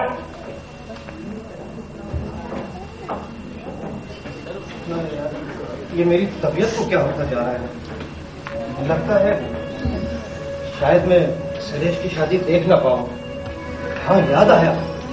इसके लिए मैंने कुमार से कहा था वकील बुलाने को। दो दिन हो गए। पता नहीं इसके दिमाग को क्या होता जा रहा है। कुमार! कुमार! क्या है पिताजी? तुम कुमार हो। अ, नहीं तो पिताजी मगर आप कुछ इस तरह चिल्ला रहे थे कि मुझे लगा आप तुम्हें लगा कि मैं मर रहा हूँ। बेटे मरने से पहले आदमी ऊपर वाले को याद करता है। कौन बेवकूफ़ होगा कि जो कुमार को याद करेगा? पिताजी आप तो छोटी छोटी सी बातों को लेकर हंगामा खड़ा कर देते हैं। छोटी सी बात। भाई दो दिन पहले मैंने कुमार से वकील बुलाने को कहा था। मेरे दिमाग से बात निकल गई मगर वो क्यों भूल गया? बस इतनी सी बात। वकील को मैं बुला लेता हूँ पिताजी। ओके? बेटे बात सिर्फ़ इतनी सी नहीं है। फिर क्या है? ये जो तुम्हारी नर्स आई है ना नर्स ये नर्स है ही नहीं। यानी आपने ऐसी नर्स ज़िंदगी में देखी नहीं कभी? कभी नहीं देखी मैंने। तो पिताजी आपको मौका मिला है अभी। देख लीजिए। बेटे ज़िंदगी में यमदूत को भी देखने का मौका मिलता है। मगर क्या कोई इसे देखना पसंद करेगा? पिताजी एक बात करूँ? कहो आप उसको परख लीजिए। हो तो उससे नौकरानी का काम दे देंगे। हाँ ये ठीक है। मगर अ, कुमार अ, मेरा मतलब है सलेश कुमार को ये बात नहीं आदत चाहिए छोटे सरकार बड़े सरकार। मगर उसको कुमार को ये बात बुरी नहीं लगनी चाहिए। वैसे हमें नौकरानी की ज़रूरत भी है। ठीक कहा सरकार। Thank you very much you shut up तुम अपना काम करो। आप मुझे जब देखो तब काटते रहते हैं। एक बड़े मालिक है देखो कितना ख्याल रखते हैं। एकदम बेटे की तरह। क्या? बेटा? हाँ हाँ सरकार आप आप नौकरानी लाने की बात कर रहे थे ना? डॉक्टर बाबू आ, आपकी दवा। ये तुम दांत निकाल कर क्या हंस रहे हो? सरकार वैसे डॉक्टर दूसरों को दवा देता है। तुम जाओ जाओ सामने की दीवार का कचरा साफ़ करो। सरकार वहाँ कचरा नहीं है। ओहो कचरा होगा तो तुम दो मिनट में वापस आ जाओगे। जाओ जाकर वहीं खड़े रहो। शायद कचरा आ जाए। हाँ इसमें बेटी इधर आओ। आपकी दवा ठीक है इसमें क्या है? दवा। तुम तो हमेशा दवा ही लाती हो मगर मैं पूछता हूँ आखिर इसमें कौन सी दवा है? दवा? दिमाग को आराम देती है। डॉक्टर बाबू दिमाग की थकावट के कारण परेशान रहते हैं ना? क्यों डॉक्टर बाबू? अच्छा ये बताओ कि तुम इससे पहले क्या करती थी? मैं? हम्म। इससे पहले? हम्म। आ, मैं इससे पहले भी नर्स थी। और उससे पहले? आ, उससे उससे पहले भी नर्स थी और उससे पहले भी नर्स थी। मैं पैदा ही नर्स थी। क्या? तुम पैदा ही नर्स हुई थी? मैं आ, मैं गरीब हूँ ना। मेरा मतलब है मेरी माँ भी नर्स थी। मगर तुम्हारे पहनावे और चाल चलन से तो बिल्कुल नहीं लगता कि तुम नर्स हो। मैं गरीब हूँ शट अप कुमार अंकल अगर तुम्हें यहाँ नहीं लाए होते ना तो मैं तुम्हें पिताजी को दवा तक या पानी भी नहीं पिलाने देता। पता नहीं क्या क्या देती रहती हूँ मेरे पिताजी को। अच्छा मैं चलती हूँ। ठहरो। इधर आओ। और ये ये किधर चला गया राम भरोसे हाँ? तू यहाँ क्या कर खड़ा कर रहा है। मालिक। तुझे क्या हुआ बजर बट्टू? क्यों कछुए की तरह गर्दन आगे कर रहा है? मालिक वो बात दरअसल ये है कि आप मेरे लिए नौकरानी ला रहे हैं या मेरी जगह पर? पिताजी इससे पूछिए तो सही कि घर का काम काज जानती भी है या नहीं? हाँ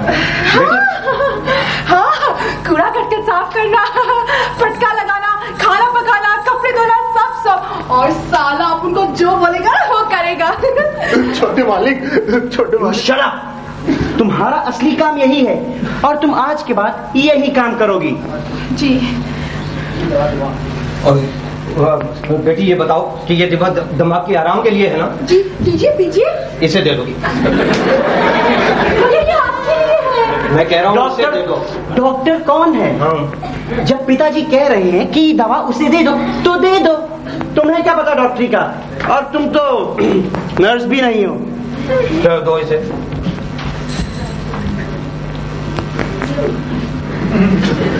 पियो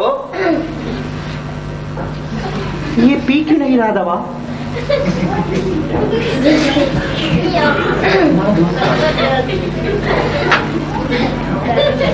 आखिर दवा क्यों नहीं पीते तुम? अबे डर क्यों रहा है? पिताजी इसका दिमाग खराब हो गया है। हाँ लगता तो ऐसे ही है। ये तो ऐसे डर रहा है। अब कुमार कहाँ जा रहे हो? अब अब भाई साहब आपको दवा पीते देखकर मैं वापस जा रहा था। क्या मतलब? भाई दवा पीने का टाइम हुआ है। कोई नहाने का टाइम तो नहीं हुआ? जो तुम मुझे देख नहीं सकते। मगर भाई साहब ये राम भरोसे क्यों दवा पी रहा है? इस इडियट ने मेरा दिमाग खराब कर दिया है। ये दवा इसी को पीनी चाहिए। ठहरो। ये दवा शैलेश को दे दो।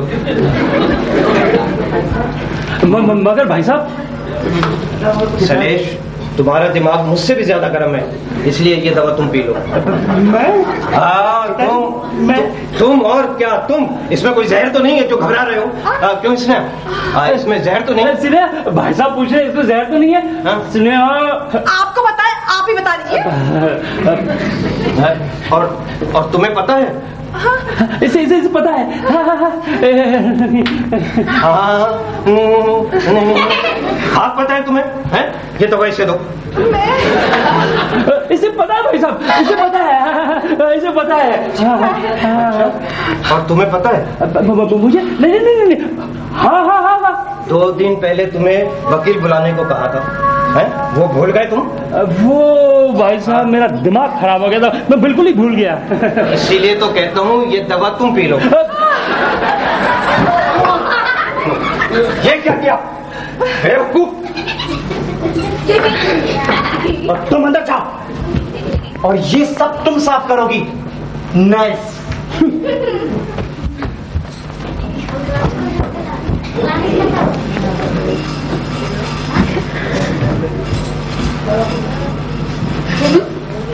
ये क्या हुआ? क्लास गिर गया। क्लास गिर गया?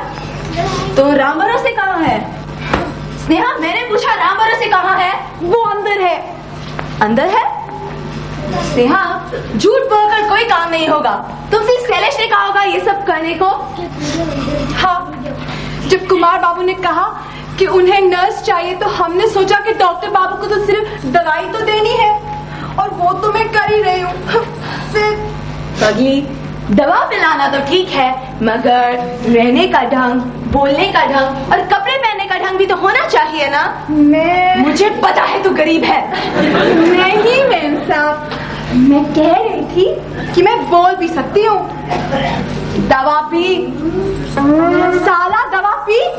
अबे दवा पी तो ठोसू क्या तेरे मुँह में? और मैं चल भी सकती हूँ।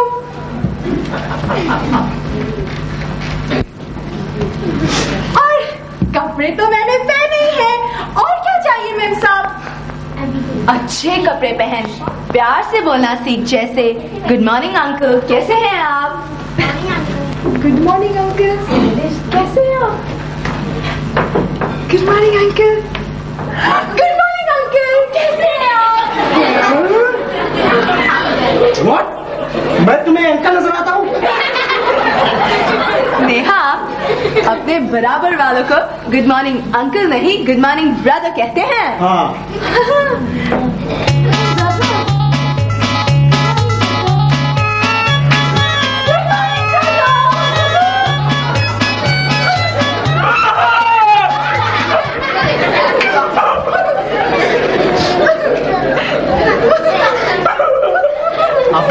रो क्यों रहा है?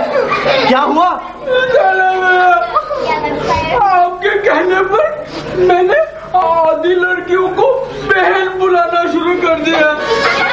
और आपके कहने पर ये आधी लड़कियाँ मुझे भाई बुला रही है। मैं अब शादी किससे करूँ? कोई बात नहीं। एक न एक दिन कोई न कोई लड़की तुमसे शादी ज़रूर करेगी। अबे ओ आँखें सेकनी तो यहाँ सेक। तो क्या ये आग है? आग? आग नहीं भट्टी भट्टी कहो भट्टी। झूठ की भट्टी। जिसमें से कभी नर्स निकलती है तो कभी नौकरानी। कभी नौकरानी तो कभी नर्स स्टॉप इट शैलेश क्यों किसी के दिल को दुखा रहे हो। वाह उसके करने पे तुम्हें गुस्सा नहीं आया मेरे कहने पे इतना गुस्सा आया है। चले भैया मैंने आखिर देख लिया अब क्या करूँ? अब तुम जहन्नुम में जाओ।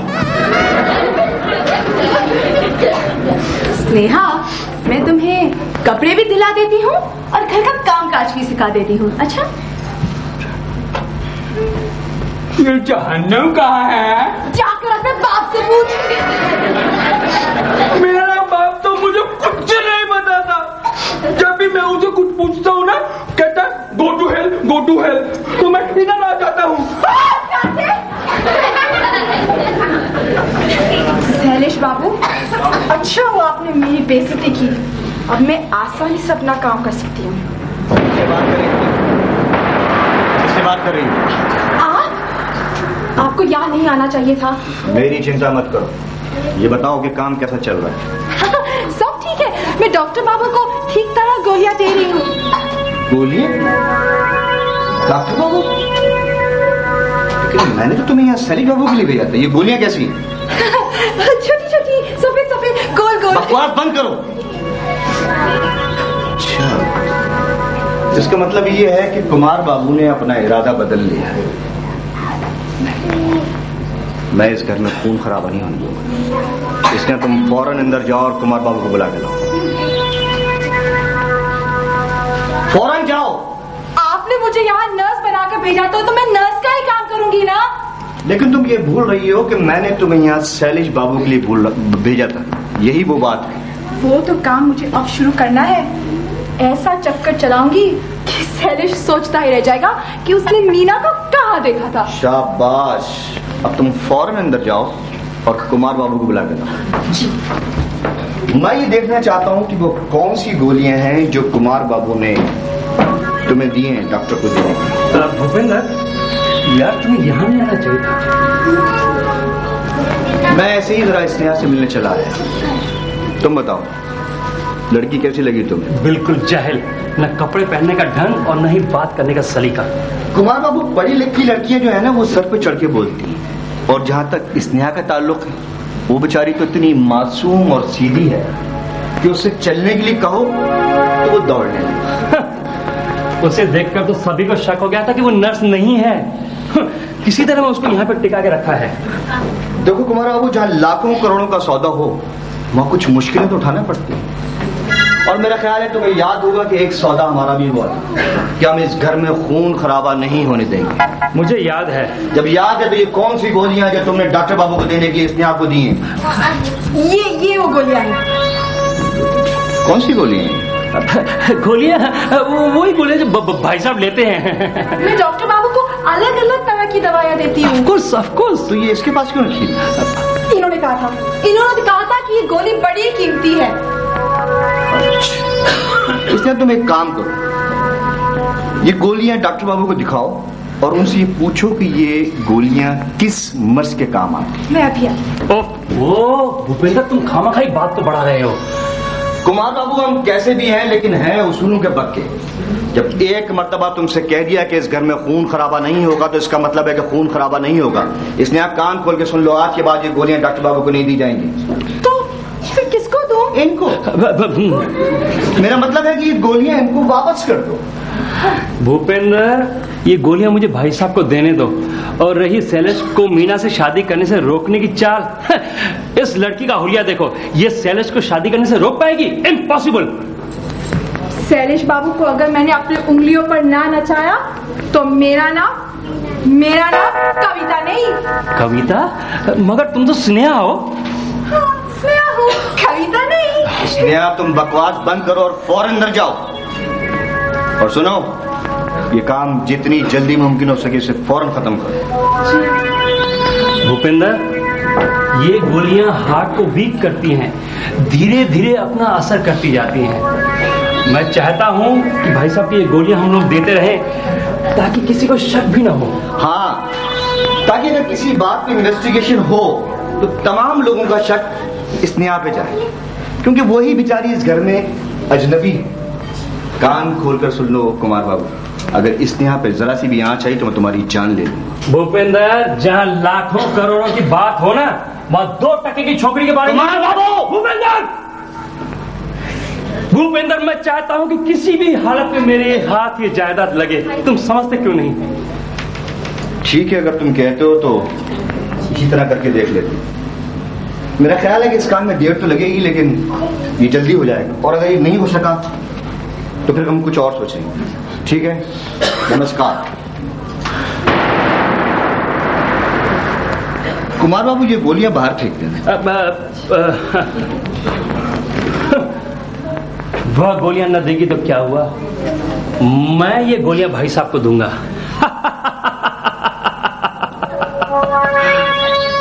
नमस्ते कुमार राधी बहन तुम अब, तुम शायद भाई साहब से मिलने आई। मैं अभी उन्हें बुलाता हूँ। नहीं नहीं मैं तो सरदर्द की गोलियाँ लेने आई थी। अच्छा हुआ आपने दे दी मैं चलती। सुनिए कलावती जी ये सदर की गोलियाँ नहीं है। तो फिर कौन से दर्द की गोलियाँ हैं? ये ये पेट पेट के दर्द की गोलियाँ। नहीं नहीं नहीं नहीं बदन के दर्द की गोलियाँ हैं। बदन में सर नहीं होता है क्या? कलावती बहन लगता है तुम्हारी तबीयत खराब है। बुखार बुखार है क्या? ये मेरे मेरे बुखार की गोलियाँ हैं। मैं मैं आपको आपके सर दर्द की गोलियाँ अभी ला कर देता हूँ। तो पहले बताते ना। मैं चलती हूँ। मगर आप तो सर दर्द की गोलियाँ लेने आई थी। आपसे बात है कि सर दर्द खत्म हो गया मैं चलती हूँ।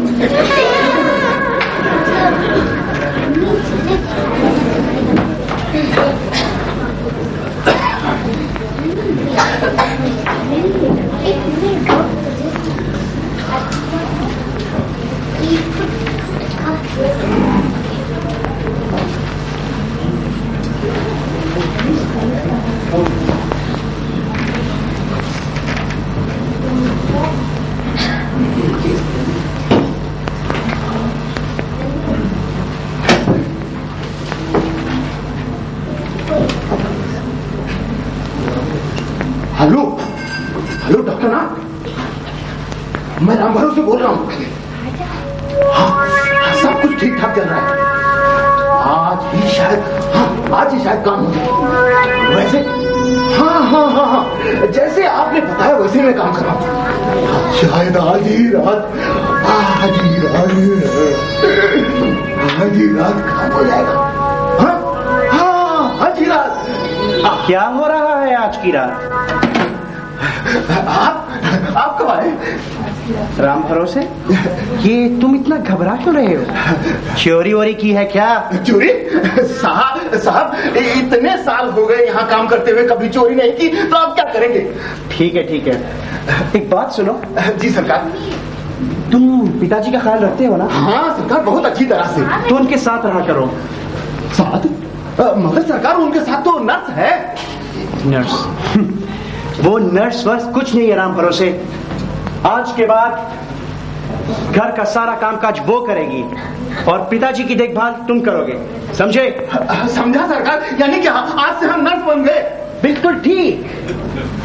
सरकार ये बात हमारे समझ में नहीं आ रही है क्या? कि जब वो वो छोकरी होकर नर्स कहलाती है तो हम मर्द होकर क्या कराएँगे? मर्द हो तुम सरकार हम पूछ रहे थे राम भरोसे पहली दफ़ा किसी नर्स को सफ़ाई करते हुए देख रहा हूँ। अरे अरे मैं साफ़ कर लेता हूँ। मैं मैं मैं। तुमसे क्या कहा था? तुम भूल गए। अच्छा अच्छा हम हम नर्स का काम करेंगे। बेवकूफ़ नर्स बनने में टाइम ही कितना लगता है? एक झूठ बोलने से आदमी डॉक्टर तक बन जाता है। डॉक्टर?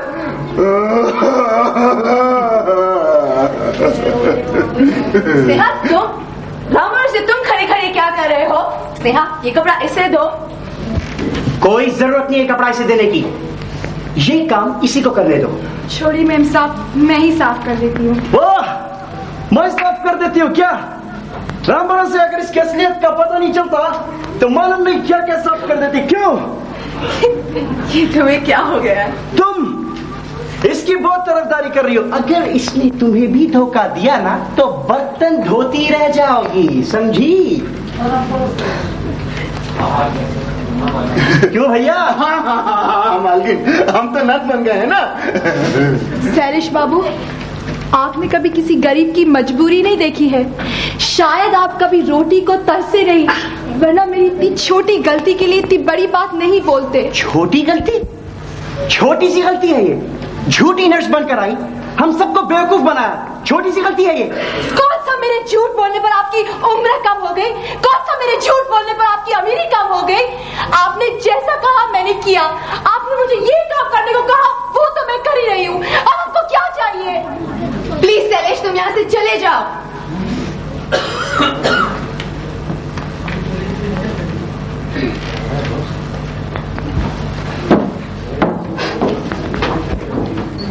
रो मत स्नेहा सब ठीक हो जाएगा। देखो तुम अंकल का ख्याल रखना और ये आँसू पोछ लो। आँसू। सैलिश बाबू आँसू औरत का हथियार होती है। अब मैं देखती हूँ कि तुम इससे कैसे बचते हो। भाई आज तो बड़ी प्यारी लग रही हो। जी मीरा जी ने मुझे ये कपड़े दिए हैं। मीना बहुत अच्छी लड़की है। बहुत जल्द मैं उसकी शादी सलेश के साथ करने वाला हूँ। शादी? बहुत ही अच्छी बात है। मगर मगर क्या? मगर शादी से पहले जायदाद के लिए झगड़ा खैर मैं चलती हूँ। ठहरो। तुम कुछ झगड़े की बात कर रही थी? कुछ भी तो नहीं डॉक्टर बाबू। झगड़ा कौन कर रहा था बताओ। कैसे बताऊँ मैं तो गरीब हूँ ना। वो शट अप जल्दी बताओ कौन कर रहा था ये झगड़ा? वरना तुझे नौकरी से निकाल दूँगा। नहीं नहीं डॉक्टर बाबू उस दिन शैलेश और मीना में झगड़ा हो रहा था। पता नहीं वो कह रही थी कि शादी के पहले जायदाद उसके नाम करवा लो। पता नहीं डॉक्टर बाबू कितने दिन ज़िंदा रहेंगे? क्या? क्या? मीना को हमने इसीलिए घर में रखा कि वो जायदाद की लालच करे वो भी मेरे जीते जी। नमस्ते भाई साहब। कुमार कुमार तुमने कुछ सुना? क्या? ये जायदाद की खातिर आदमी इतना बदल जाता है कि बड़ों की इज़्ज़त करना छोड़ दे। भाई साहब मैं, मैं तो आपकी इज़्ज़त करता हूँ। मैं तुम्हारी बात नहीं कर रहा हूँ। मतलब जायदाद के लिए आदमी किसी की जान की परवाह नहीं करता? मुझे नहीं पता भाई साहब मुझे नहीं पता। तुम तो ऐसे घबरा रहे हो कि जैसे तुम मुझे जायदाद के लिए मारना चाहते हो। भाई मैं तुम्हारी बात नहीं कर रहा। भाई साहब मैं जानता था कि आप मज़ाक कर रहे हैं। हाँ और वैसे मीना कैसी लड़की है? सुनिया सुनिया बहुत ही अच्छी लड़की है भाई साहब और घर का काम काज भी कर रही है आजकल। मैं मीना की बात कर रहा हूँ। वो, वो, सोचता हूँ कि बहुत जल्दी उन दोनों की शादी करके आधी आधी जायदाद दोनों में बांट दूँ ताकि झगड़ा ही ना हो। क्यों? जायदाद? हम मगर भाई साहब झगड़ा? किस बात का झगड़ा? सुना है दोनों में अनबन सी चल रही है। इसीलिए सोचता हूँ कि दोनों की शादी के बाद आधी आधी जायदाद दोनों में बांट दूँ। फिर तो झगड़ा नहीं होगा। सही बात है भाई साहब। मैं वकील को आज ही बुला लूँगा। तुम आज ही याद करके ये वसीयत बनवा लो। क्यों नहीं भाई साहब? मैं आपकी आखिरी इच्छा भी पूरी नहीं करूँगा। क्या? क्या मैं मर रहा हूँ? अब नहीं भाई साहब। मैं मैं मैं आज ही वकील अच्छा ठीक है ठीक है याद करके आज ही ये वसीयत बनवा लो। ठहरो। तुम भूल जाओगे। नहीं नहीं नहीं मैं सलील से कहता हूँ। नहीं भाई साहब मैं मैं मैं मैं मैं मैं ये काम कर लूँगा। वकील को बुला लूँगा। याद करके। हाँ भूलना नहीं। हाँ भाई साहब। वकील कहाँ पूरी जायदाद का ख्वाब देखा था? तो कहाँ आधी जायदाद हाथ में आ रही है? आधी भी कहाँ आ रही है? ये स्नेहा की बच्ची कर क्या रही है? हेलो मीना। मीना ये झगड़ा किस बात पे चल रहा है? झगड़ा? ओ झगड़ा। हाँ शैलेश स्नेहा से बहुत नाराज़ है। मुझे भी बहुत चिंता हो रही है। यानी कि इस लड़की को कुछ भी पता नहीं। स्नेहा अपना चक्कर चला चुकी है। कुमार बाबू आग लगी हुई है। घी का काम करो। अ, मीना बेटी वैसे ये सब नाटक था। नाटक? नाटक का क्या मतलब? अ, मतलब ये कि अब मैं जब वहाँ से आ रहा था ना तो मैंने देखा स्नेहा सामने खड़ी थी और शैलेश ने उसके सामने जाकर कहा कि मेरा नाटक कैसा रहा? नाटक? हाँ मैं भी कुछ समझा नहीं। खैर मैं चलता हूँ।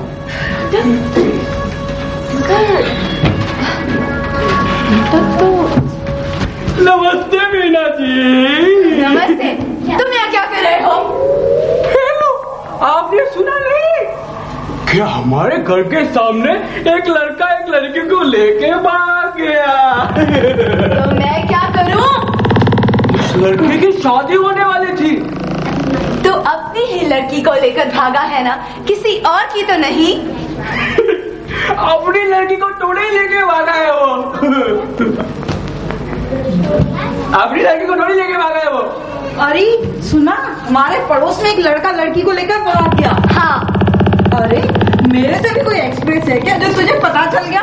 चाची मैंने बताया इसे हुआ तेरे को क्या पड़ी थी? तू क्या औरत है जो यहाँ की बात वहाँ कर रहा है?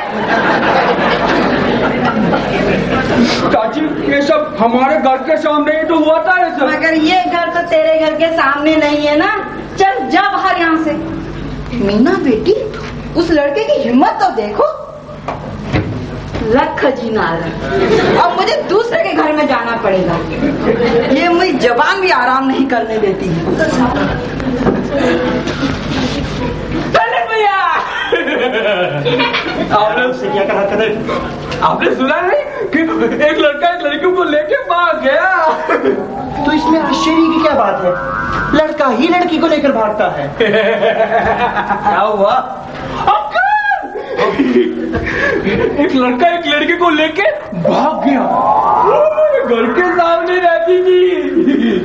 बेवकूफ़ गधे नलायक तेरे घर के अंदर भी रहती तो तू उसे भगा नहीं सकता था। वो वो, वो, क्यों अंकल? जो लड़की तुझे दूर से पहचान सकती है तो वो करीब रहकर तो तेरे कपड़ों के अंदर भी झाँक सकती है। हैं? जा जाके कुछ कर। जब देखो बंदर की तरह कूद कूद कर दूसरों के ही किस्से सुनाता रहता है। नालायक। पिताजी आपको ऐसे लोगों से बात करने में बड़ा ही मज़ा आता है। बेटे दिल का बोझ इसी तरह हल्का होता है। मगर क्या हुआ आपको? बेटे एक बात बताओ। ये मीना बेटी शादी से पहले जायदाद की बात क्यों कर रही थी? मीना जायदाद की बात? बहरहाल तुम चिंता मत करो। मैंने फैसला किया है कि तुम दोनों के नाम आधी आधी जायदाद कर दो। मगर पिताजी वो ये मीना ऐसी बात नहीं कर सकती पिताजी। बेटे वो यही डोंट वरी समझे? मैं चाहता हूँ कि शादी से पहले तुम दोनों को सुखी देखूँ। ये मेरी आखिरी इच्छा है बेटे। मैं चलता हूँ। Meena I never expected this from you लेकिन वो इतना बदल जाएगी। मैंने सोचा तक ना था। ये अपने आप से बातें क्या कर रहे हो? पागल तो नहीं हो गए। घर में जो कुछ चल रहा है वो मुझे पागल करने के लिए काफ़ी है। घर में? जरा मैं भी तो सुनो घर में क्या चल रहा है। तुम सुनोगी। तुम तो सुना चुकी हो। सुना चुकी हूँ? सुना चुकी हूँ का क्या मतलब? तुमने पिताजी से जायदाद अपने नाम करने की बात नहीं की। जायदाद? कैसी जायदाद? वाह पहले ही हँसी ठीक थी मीना मगर अब इसका मुझ पर कुछ असर नहीं होगा समझी? मैं नहीं समझी। तुम जायदाद जायदाद बोले जा रहे हो और मेरी समझ में तो कुछ नहीं आ रहा। तुम्हें जायदाद पाने की इतनी भी क्या जल्दी थी कि शादी से पहले ही जायदाद की बातें करने लगी? तुम मुझसे कहती मैं पिताजी से बात करता।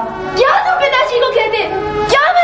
कहती मुझे तो कुछ समझ में नहीं आ रहा। शादी से पहले ये हाल है तो शादी के बाद क्या होगा मीना? तुम्हें कोई शक है? तो शादी ही क्यों कर रहे हो? मैं भी यही सोच रहा था। तुम सोच नहीं रहे सोच चुके हो। जब से स्नेहा घर में आई है तुम बदलते जा रहे हो। लेकिन ये स्नेहा बीच में कहाँ से आ गई? अरे अरे ये क्या? मीना जी रो रही है? बीच में ये नहीं आई। तो बीच में मैं आ गई हूँ ना?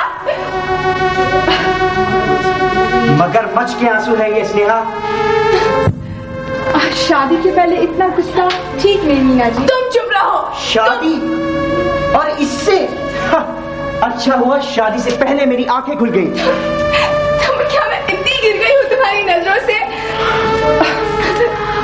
सैलेश बाबू लगता है आपको सर दर्द हो रहा है। मैं आज इस घर को छोड़कर चली जाती हूँ। स्नेहा सर दर्द के लिए सबसे अच्छी दवा कौन सी होती है? सैलेश बाबू मैं नर्स नहीं हूँ। मगर जब कभी मेरे पिताजी को सर दर्द होता था ना तो मैं इनका सर दबाया करती थी। ओह वेरी गुड स्नेहा तुम तो बड़ी समझदार हो। तो चले अंदर? अ, अंदर? सर दबाने। चलो।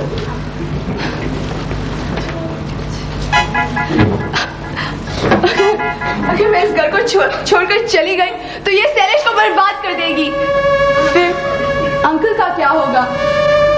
मुझे मुझे इस घर की भलाई के लिए इसी घर में रहना होगा।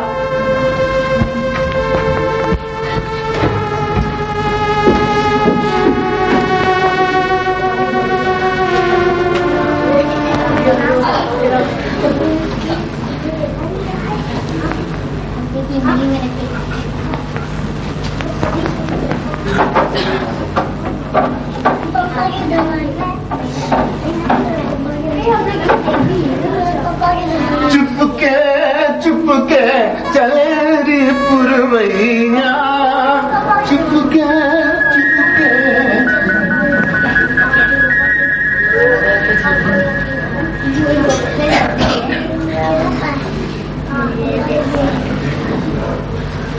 क्या जमाना आ गया है? शादी के बाद हमने बेटों को बदलते देखा है। भाई यहाँ तो किस्सा ही और है। बहुएँ बदल जाती हैं। कभी सोचा ना था।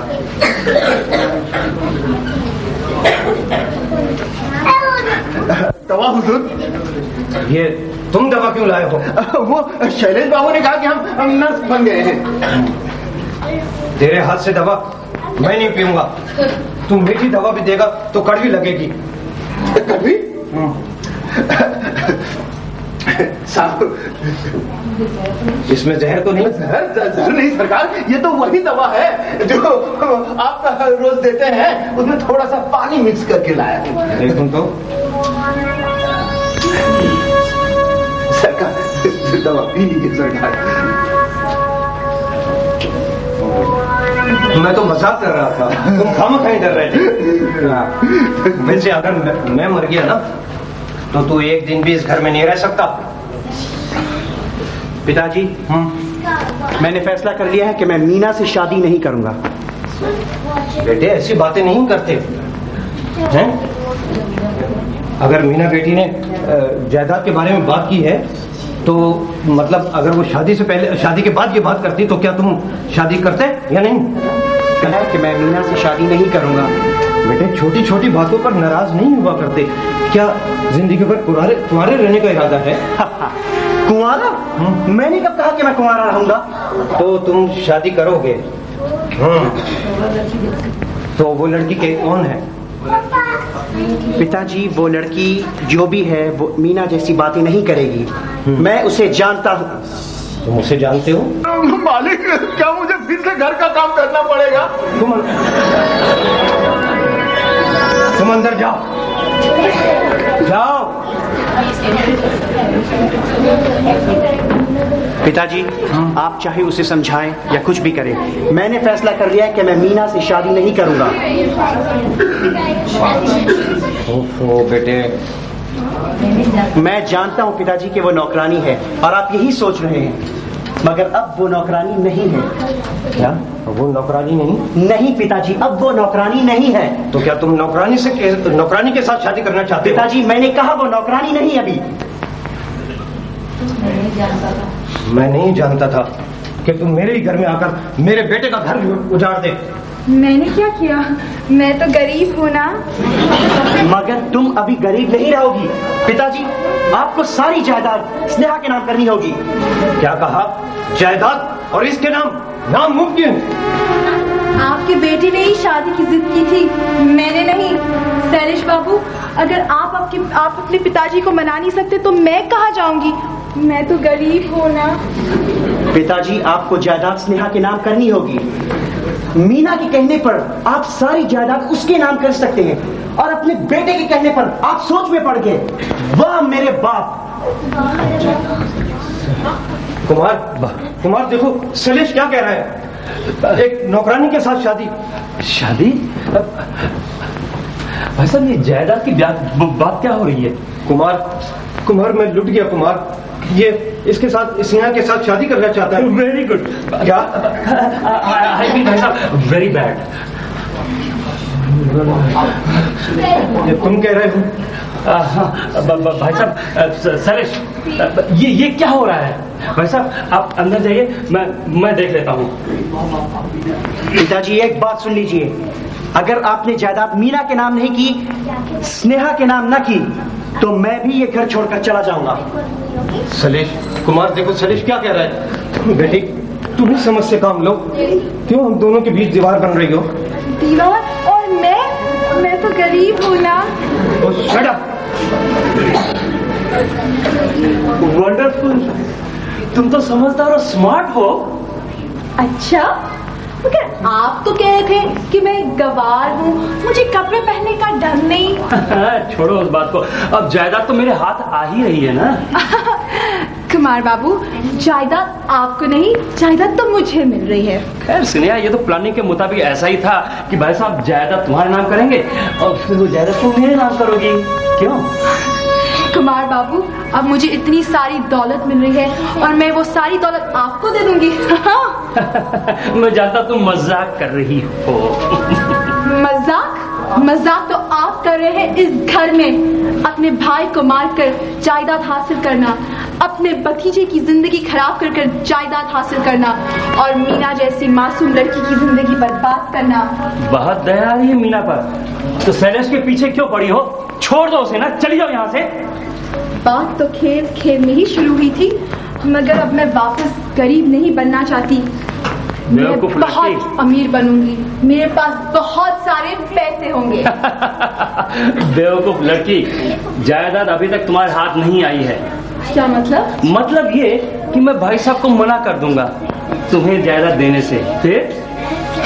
उससे पहले मैं डॉक्टर बाबू को जहर देकर मार डालूँगी और शैलेश बाबू के साथ मैं ही शादी करने वाली हूँ। और जायदाद तो मुझे ही मिलेगी।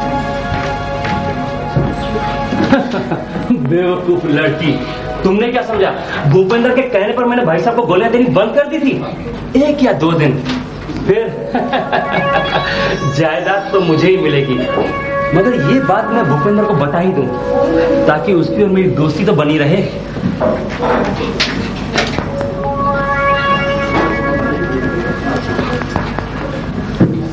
हेलो? भूपेंद्र! मेरे भाई भूपेंद्र, तुम कैसे हो?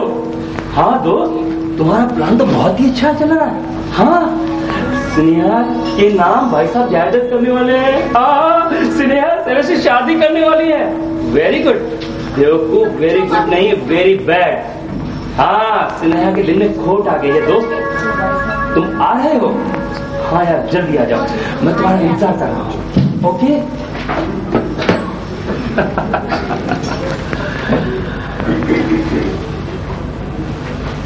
मीना ये तुम कहीं जा रही हो? हाँ अंकल। घर छोड़कर आई थी और अब यहाँ से पढ़ाई होकर जा रही हूँ। मीना बेटी ये क्या? अंकल जब शैलेश से कोई रिश्ता ही न रहा तो मेरा इस घर में क्या काम? सलेश को ऐसा नहीं करना चाहिए था छी छी छी छी छी छी छी छी। तुम जो भी चीज़ घर में लाते हो वो कोई ना कोई प्रॉब्लम खड़ी कर देती है। मगर भाई साहब अगर मगर कुछ नहीं। अच्छा अंकल मैं चलती हूँ। काश मैं शैलेश को समझा पाता। मगर तुझे भी जायदाद पाने की इतनी जल्दी क्या थी? जायदाद जायदाद?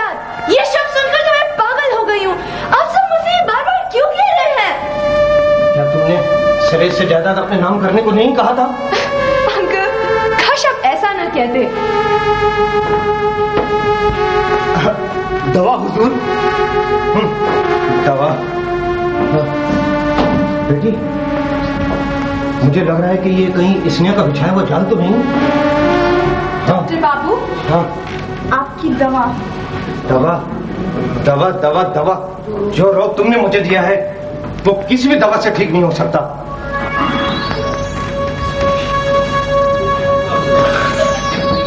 पिताजी किसी को इतना कोसना भी अच्छी बात नहीं होती और किसी को इतना दुख देना भी ठीक नहीं बेटे। अंकल इसे मैंने बोलना सिखाया कपड़े पहने सिखाए मगर मैं इसे अच्छा इंसान न बना। मीना! भाई साहब दवा। दवा दवा दवा। ठीक है दवा वैसे तो ज़िंदगी देती है मगर तुम तीनों की दवा मिलकर भी अगर मुझे मौत दे सके तो इससे बेहतर मेरा कोई इलाज नहीं। कौन देगा मुझे मौत? तुम तुम या तुम? दवा जब जहर का काम करती है तो नसीब में मौत ही आती है डॉक्टर बाबू। कौन है तुम? मैं हूँ भूपेंद्र स्नेहा का मंगेतर।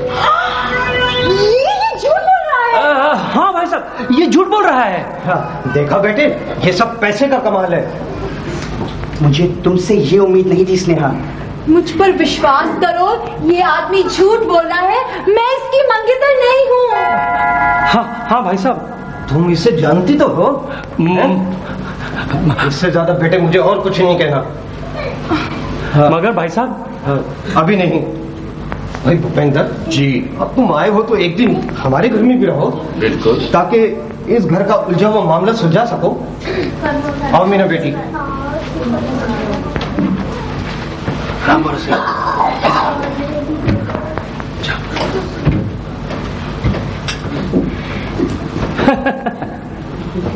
तुमने तो आते ही मामला उलझा दिया। तुम मामला क्या सुलझाओगे? कुमार बाबू इस छोकरी का दिमाग ठीक करने के लिए मेरे पास इससे बेहतर कोई और तरकीब नहीं है। अच्छा रास्ता चुना है झूठ बोलने का। लोहे को लोहा काटता है स्नेहा। वैसे तुम भी तो इस घर में झूठी नर्स बनकर आई थी इन बातों को छोड़ो। अब बताओ कि तुम करोगे क्या? देखो कुमार बाबू इसकी शादी शैलेश से तो होने से रहे। सही बात है। आप इसके लिए मेरे पास सिर्फ़ एक ही रास्ता है। क्यों नहीं? क्यों नहीं एक बार मुझे अपना घर बसाने देते? क्यों नहीं मुझे एक बार उस नर्क से निकलकर इस घर में सुख से रहने देते? अमीरों के सुख गरीबों को रास नहीं आते स्नेहा। इस बात को सोचो जब कल शैलिश को तुम्हारी असलियत का अंदाज़ा होगा तो वो तुम्हारे बारे में क्या सोचेगा? तुम्हें चैन से नहीं रहने देगा स्नेहा। और बेवकूफ़ लड़की यहाँ रहकर तुमने जो अमीर के ख्वाब देखे ना वही तुम्हारी खुशनसीबी है समझे? दोस्त बताओ कि हमें करना क्या है? मैं तो कुमार बाबू इसी काम के लिए यहाँ आया। मेरा ख्याल है कि हम तीनों इस बात पर कुछ सोचते हैं, अंदर चलते हैं और कोई हल निकालते वंडरफुल चलो।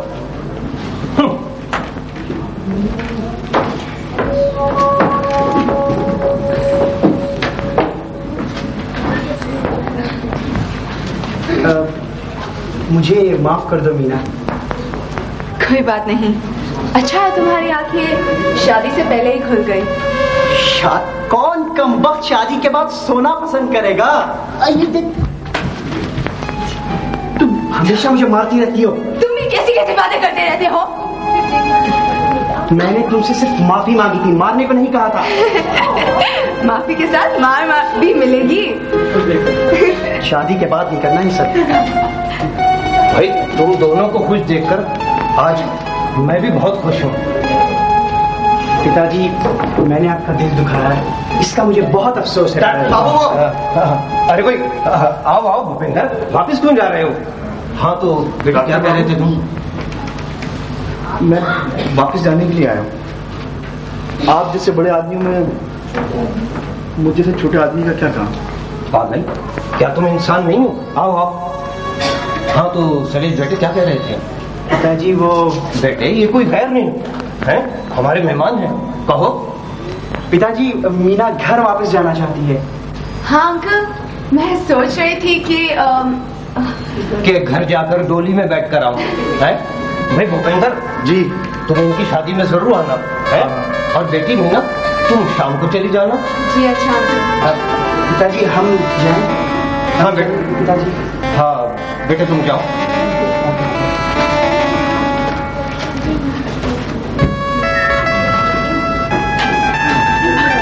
डॉक्टर बाबू। हाँ। एक बात मेरी समझ में नहीं आ रही। वो क्या भाई आप मुझ जैसे अनजान आदमी को इतनी इज़्ज़त क्यों दे रहे हैं? भाई तुम स्नेहा के मंगेतर हो और वो हमारे यहाँ काम करती है। क्या ये इतना काफ़ी नहीं? नहीं डॉक्टर बाबू ये काफ़ी नहीं है। लेकिन अब आपको ये मालूम हो गया कि स्नेहा इस घर में छोटी नर्स बनकर आई। थी और वो सैली से शादी भी करना चाहती थी फिर भी आप फिर भी मैं उसे बुरा नहीं मानता। लेकिन डॉक्टर बाबू मैं बुरा मानता हूँ। क्योंकि मैं एक बुरा आदमी हूँ डॉक्टर बाबू। मैं मैं पहले बुरा आदमी नहीं था। मुझे इस माशरे ने बुरा आदमी बनाया डॉक्टर बाबू। डॉक्टर बाबू हर इंसान के अंदर एक, और इंसान होता है, जिसे हम जमीर कहते हैं। जब जब इंसान का जमीर मर जाता है तो इंसान की मौत हो जाती है। मेरा जमीर मेरा जमीर मरा नहीं डॉक्टर बाबू। मेरा जमीर सो गया था। आप, आपने मुझे जगा दिया। मेरे जमीर को जगा दिया डॉक्टर बाबू। आप आप आप महान है डॉक्टर बाबू। बाबू मुझे मुझे माफ़ कर दो डॉक्टर बाबू। डॉक्टर बाबू मुझे माफ़ कर दो। मुझसे बहुत बड़ी भूल हुई है डॉक्टर बाबू। डॉक्टर बाबू मुझे माफ़ कर दो। डॉक्टर बाबू डॉक्टर बाबू मुझे माफ़ कर दो। डॉक्टर बाबू मुझे माफ़ कर दो। डॉक्टर बाबू मुझे माफ़ कर दो। भूपेंद्र। डॉक्टर बाबू। बुरे इंसान रुलाते हैं। रोते नहीं आप डॉक्टर बाबू बहुत मान आदमी डॉक्टर बाबू। आप आप जैसे कुछ और लोग पैदा हो जाएँ तो हम जैसे इंसान पैदा ही ना हो डॉक्टर बाबू। बहुत महान आदमी है, डॉक्टर बाबू। भूपेंद्र, इंसान अच्छा या बुरा पैदा नहीं होता, बल्कि हालात उसे बुरा बनने पर मजबूर कर देते हैं। हाँ डॉक्टर बाबू, मुझे भी हालात ने ही मजबूर कर दिया था। आज आज आपसे मिलने के बाद पहली मरतबा मुझे एहसास हुआ कि मैं मैं ज़िंदा हूँ। डॉक्टर बाबू, मेरी दुआ है, मेरी दुआ है कि काश मेरी सारी उम्र आपको लग जाए डॉक्टर बाबू। आप आप बहुत डॉक्टर बाबू बहुत महान आदमी। डॉक्टर बाबू आपकी दवा। दवा दवा दवा दवा। काश काश इस दवा से मुझे हर वक्त के लिए छुटकारा मिल जाए। ये दवा आप नहीं पिएँगे डॉक्टर ये क्या? आप इस बात को भूल रहे हैं डॉक्टर बाबू कि दवा हमेशा खाली पेट नहीं पी जाती। पहले आप खाना खाएँ उसके बाद दवा खाएँ। ओ हाँ।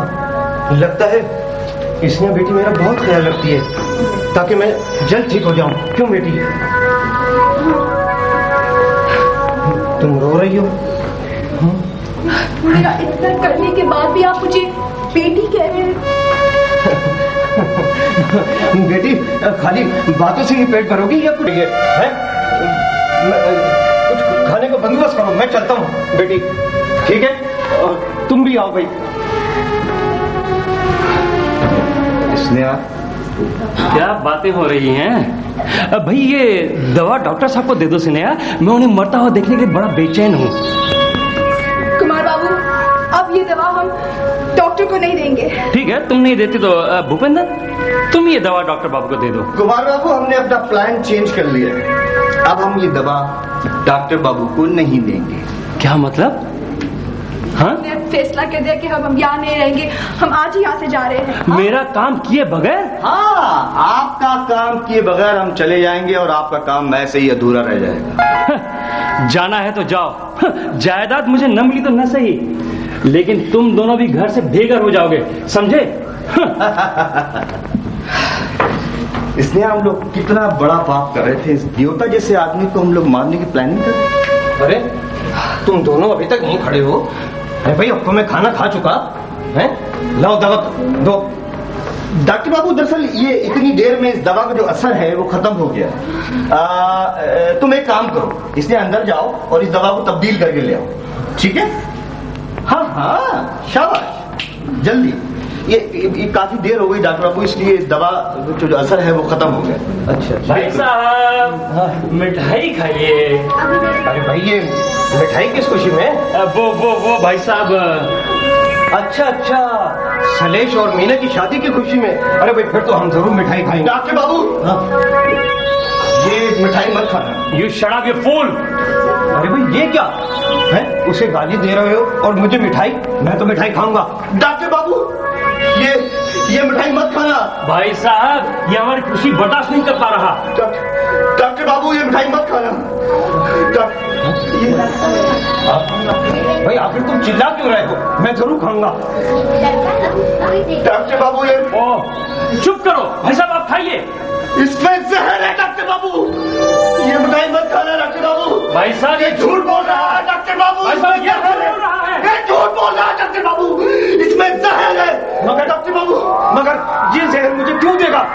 डॉक्टर बाबू इसलिए कि ये आदमी ये आदमी आपको ये जहर देकर मारना चाहता है डॉक्टर बाबू इसमें जहर है डॉक्टर बाबू। ये जहर देकर आपको मारकर आपकी जायदाद पर कब्जा करना चाहता है, डॉक्टर बाबू, इसमें जहर है डॉक्टर बाबू, इसमें जहर है ये मिठाई मत खाना। ये मिठाई मत खाना और और अगर डॉक्टर बाबू आपको मेरी बात पे विश्वास नहीं है तो मैं मैं आपको बताऊँगा कि इसमें ये मिठाई ये मिठाई मैं खा के दिखाऊँगा।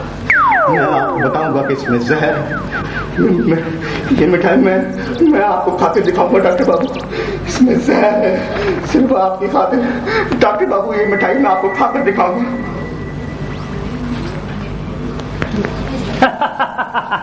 भाई साहब मैं न कहता था ये आदमी झूठ बोल रहा है। तुम तुम हर वक्त मेरे भाई पे शक कर रहे थे। क्या मिल जाता तुम्हें? मुझे मेरे भाई से अलग करके। अफसोस कि बुरा आदमी बुरा ही होता है। वो एक अच्छा इंसान नहीं बन सकता। ऑफ़ कोर्स भाई। ये क्या? डॉक्टर बाबू। जी क्या? गोविंदर डॉक्टर डॉक्टर बाबू। तुम नहीं मरोगे। डॉक्टर बाबू मैं मैं जीना नहीं चाहता डॉक्टर बाबू। डॉक्टर बाबू। स- स- स- शैलेश? ब- ब- ब- शैलेश? अ, आपने कहा था डॉक्टर बाबू उसमें डॉक्टर बाबू। भूपेंद्र को क्या हो गया? इसने जहर खा लिया है। जहर क्यों खाया? लगता है मिठाई रखी हुई थी। रखी हुई थी। हाँ। मैं जीना नहीं चाहता डॉक्टर बाबू। डॉक्टर बाबू। तुम इसे मारना चाहते थे? ये क्या कह रहे हैं पिताजी? क्या हुआ? पिताजी। डॉक्टर बाबू। मैं जीना नहीं चाहता डॉक्टर बाबू। मैं मैं बुरा आदमी नहीं हूँ, डॉक्टर बाबू। मैंने सारी ज़िंदगी बुरे काम डॉक्टर बाबू मैंने सारी ज़िंदगी तुम्हें कुछ नहीं होगा? डॉक्टर बाबू कुछ नहीं होगा? मैंने सारी ज़िंदगी बुरे काम किए डॉक्टर बाबू इसके कारण मैं आज तक की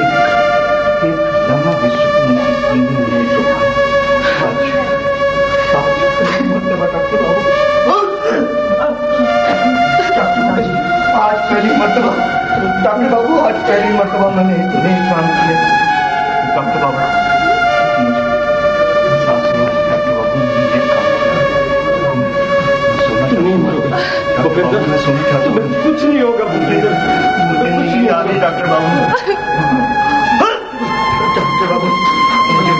Dr. Bobo. Dr.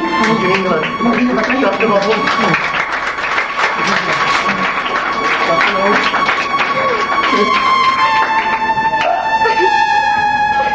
Dr. Bobo. काम कर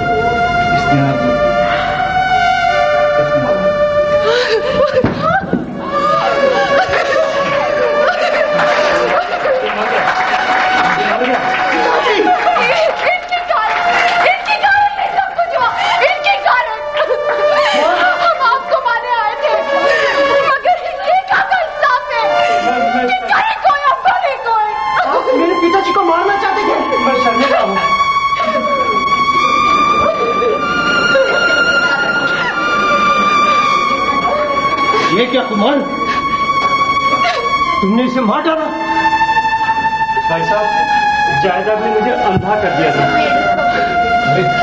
मुझसे कहकर तो देखते क्या मैं मना करता क्या कमी की है मैंने? आज तुझे पता होता कि सीधे रास्ते पर चलकर ही आदमी मंजिल तक पहुँच सकता है।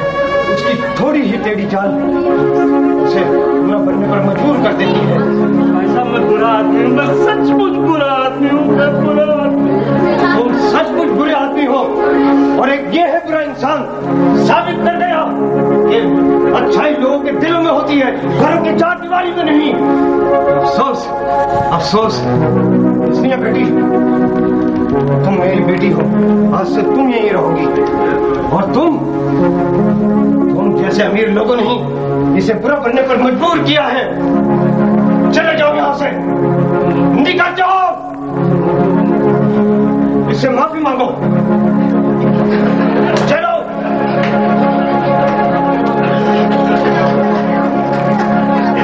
काश के हर कोई इतना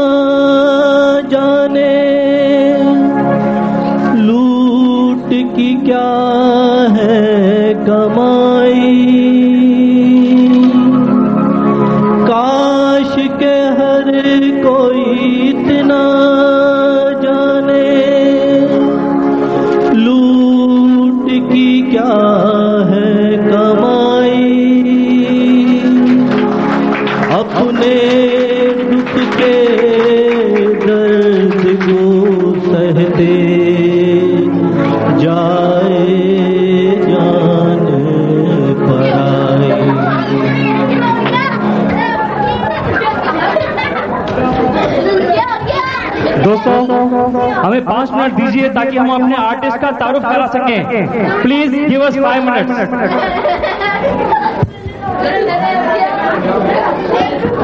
दोस्तों, आपके सामने हमारे आर्टिस्ट आ रहे हैं। Please give us five minutes to introduce them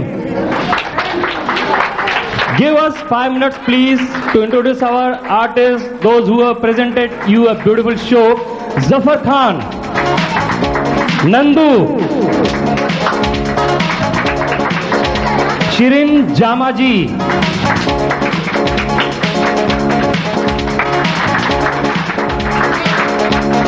Reshma Mangalani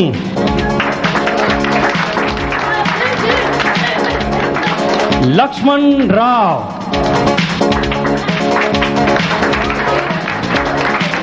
और हास्य कला का हास्य कला के दो नए चेहरे अंजलि। और सलमान खान।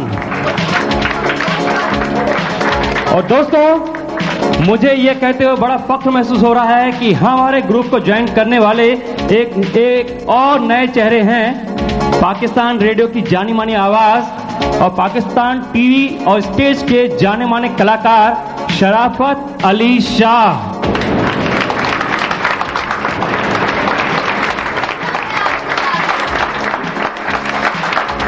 दोस्तों, शराफत अली शाह ने ओमर शरीफ जैसे मंजे हुए कलाकार के साथ बहुत सारे ड्रामों में काम किया, उनकी फ़िल्म मिस्टर 420 में भी काम किया और बहुत सारी पीटीवी के सीरियल लाइक नंगे पाँव में भी इन्होंने काम किया।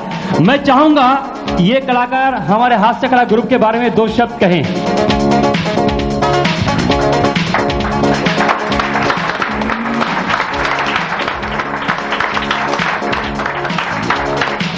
इब्तदा करता हूँ उसके नाम से, जिसका नाम इब्तदा से पहले है।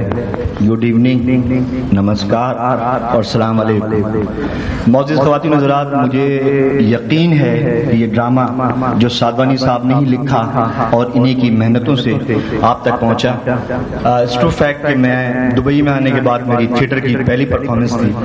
और यहाँ आने के बाद आप लोगों का खुलूस और प्यार जो मुझे मिला। तो बरमला में इस बात का इजहार करूँगा कि फन की कोई जबान होती फन का कोई खत्ता नहीं होता, फन की कोई ज़मीन नहीं होती। फन का और ऑडियंस का एक रिलेशन होता है मोहब्बत का, जो अभी आपने मुझे दिया। मैं साधवानी साहब का इसके लिए मशहूर हूँ कि उन्होंने मुझे इस ड्रामे में काम करने का मौका दिया और आपके सामने परफॉर्मेंस करने का। मेरी परफॉर्मेंस कैसी रही?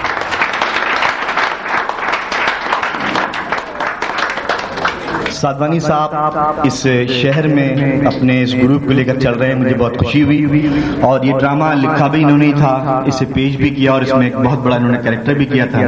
एक बात मैं आपसे कहना चाहूँगा कि थिएटर में थिएटर की एक तरह होती है कि थिएटर कभी भी वन मैन शो नहीं होता। स्टेज ड्रामा कभी भी वन मैन शो नहीं होता। ये ड्रामा अगर आप लोगों को पसंद आया हो तो इसमें साधवानी साहब का या मेरा या किसी का नहीं, ये पूरी जो कास्ट है, इस तमाम कास्ट का ये क्रेडिट है। इसकी वजह से ये आपको ड्रामा पसंद आया और दोस्तों, इस ड्रामे का म्यूज़िक दिया था सुरेश ने। मिस्टर सुरेश, और स्टेज के पीछे हमारे दोस्त थे नीता नरियानी।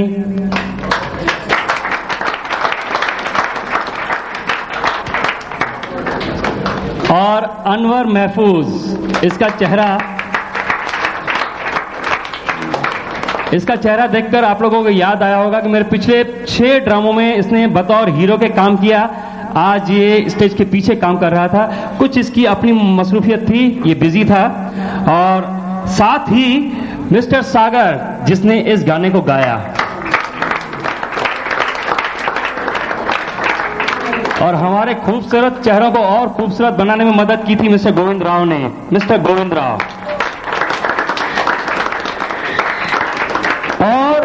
इस ड्रामे का एक रिमेम्बरेंस बनाने के लिए मिस्टर रमेश वासवानी जी सामने खड़े हैं। वीडियो संभाले हुए। और दोस्तों, इस ड्रामे को पेश करने वाले थे कमलेश राजानी और प्रकाश लुल्ला दोनों शहर से बाहर हैं। और मैं, मिस्टर ज्योतिष हरियाणी, वो भी इस शहर से शहर से बाहर हैं। मैं उनका भी शुक्रगुजार हूँ। मिस्टर दिलीप हरियाणी का भी शुक्रगुजार हूँ। और साथ ही Krishna Real Estate Consultants of Bombay. They deal in properties and their sister concerns are in Dubai. They are Nardin Textile Trading, Nardin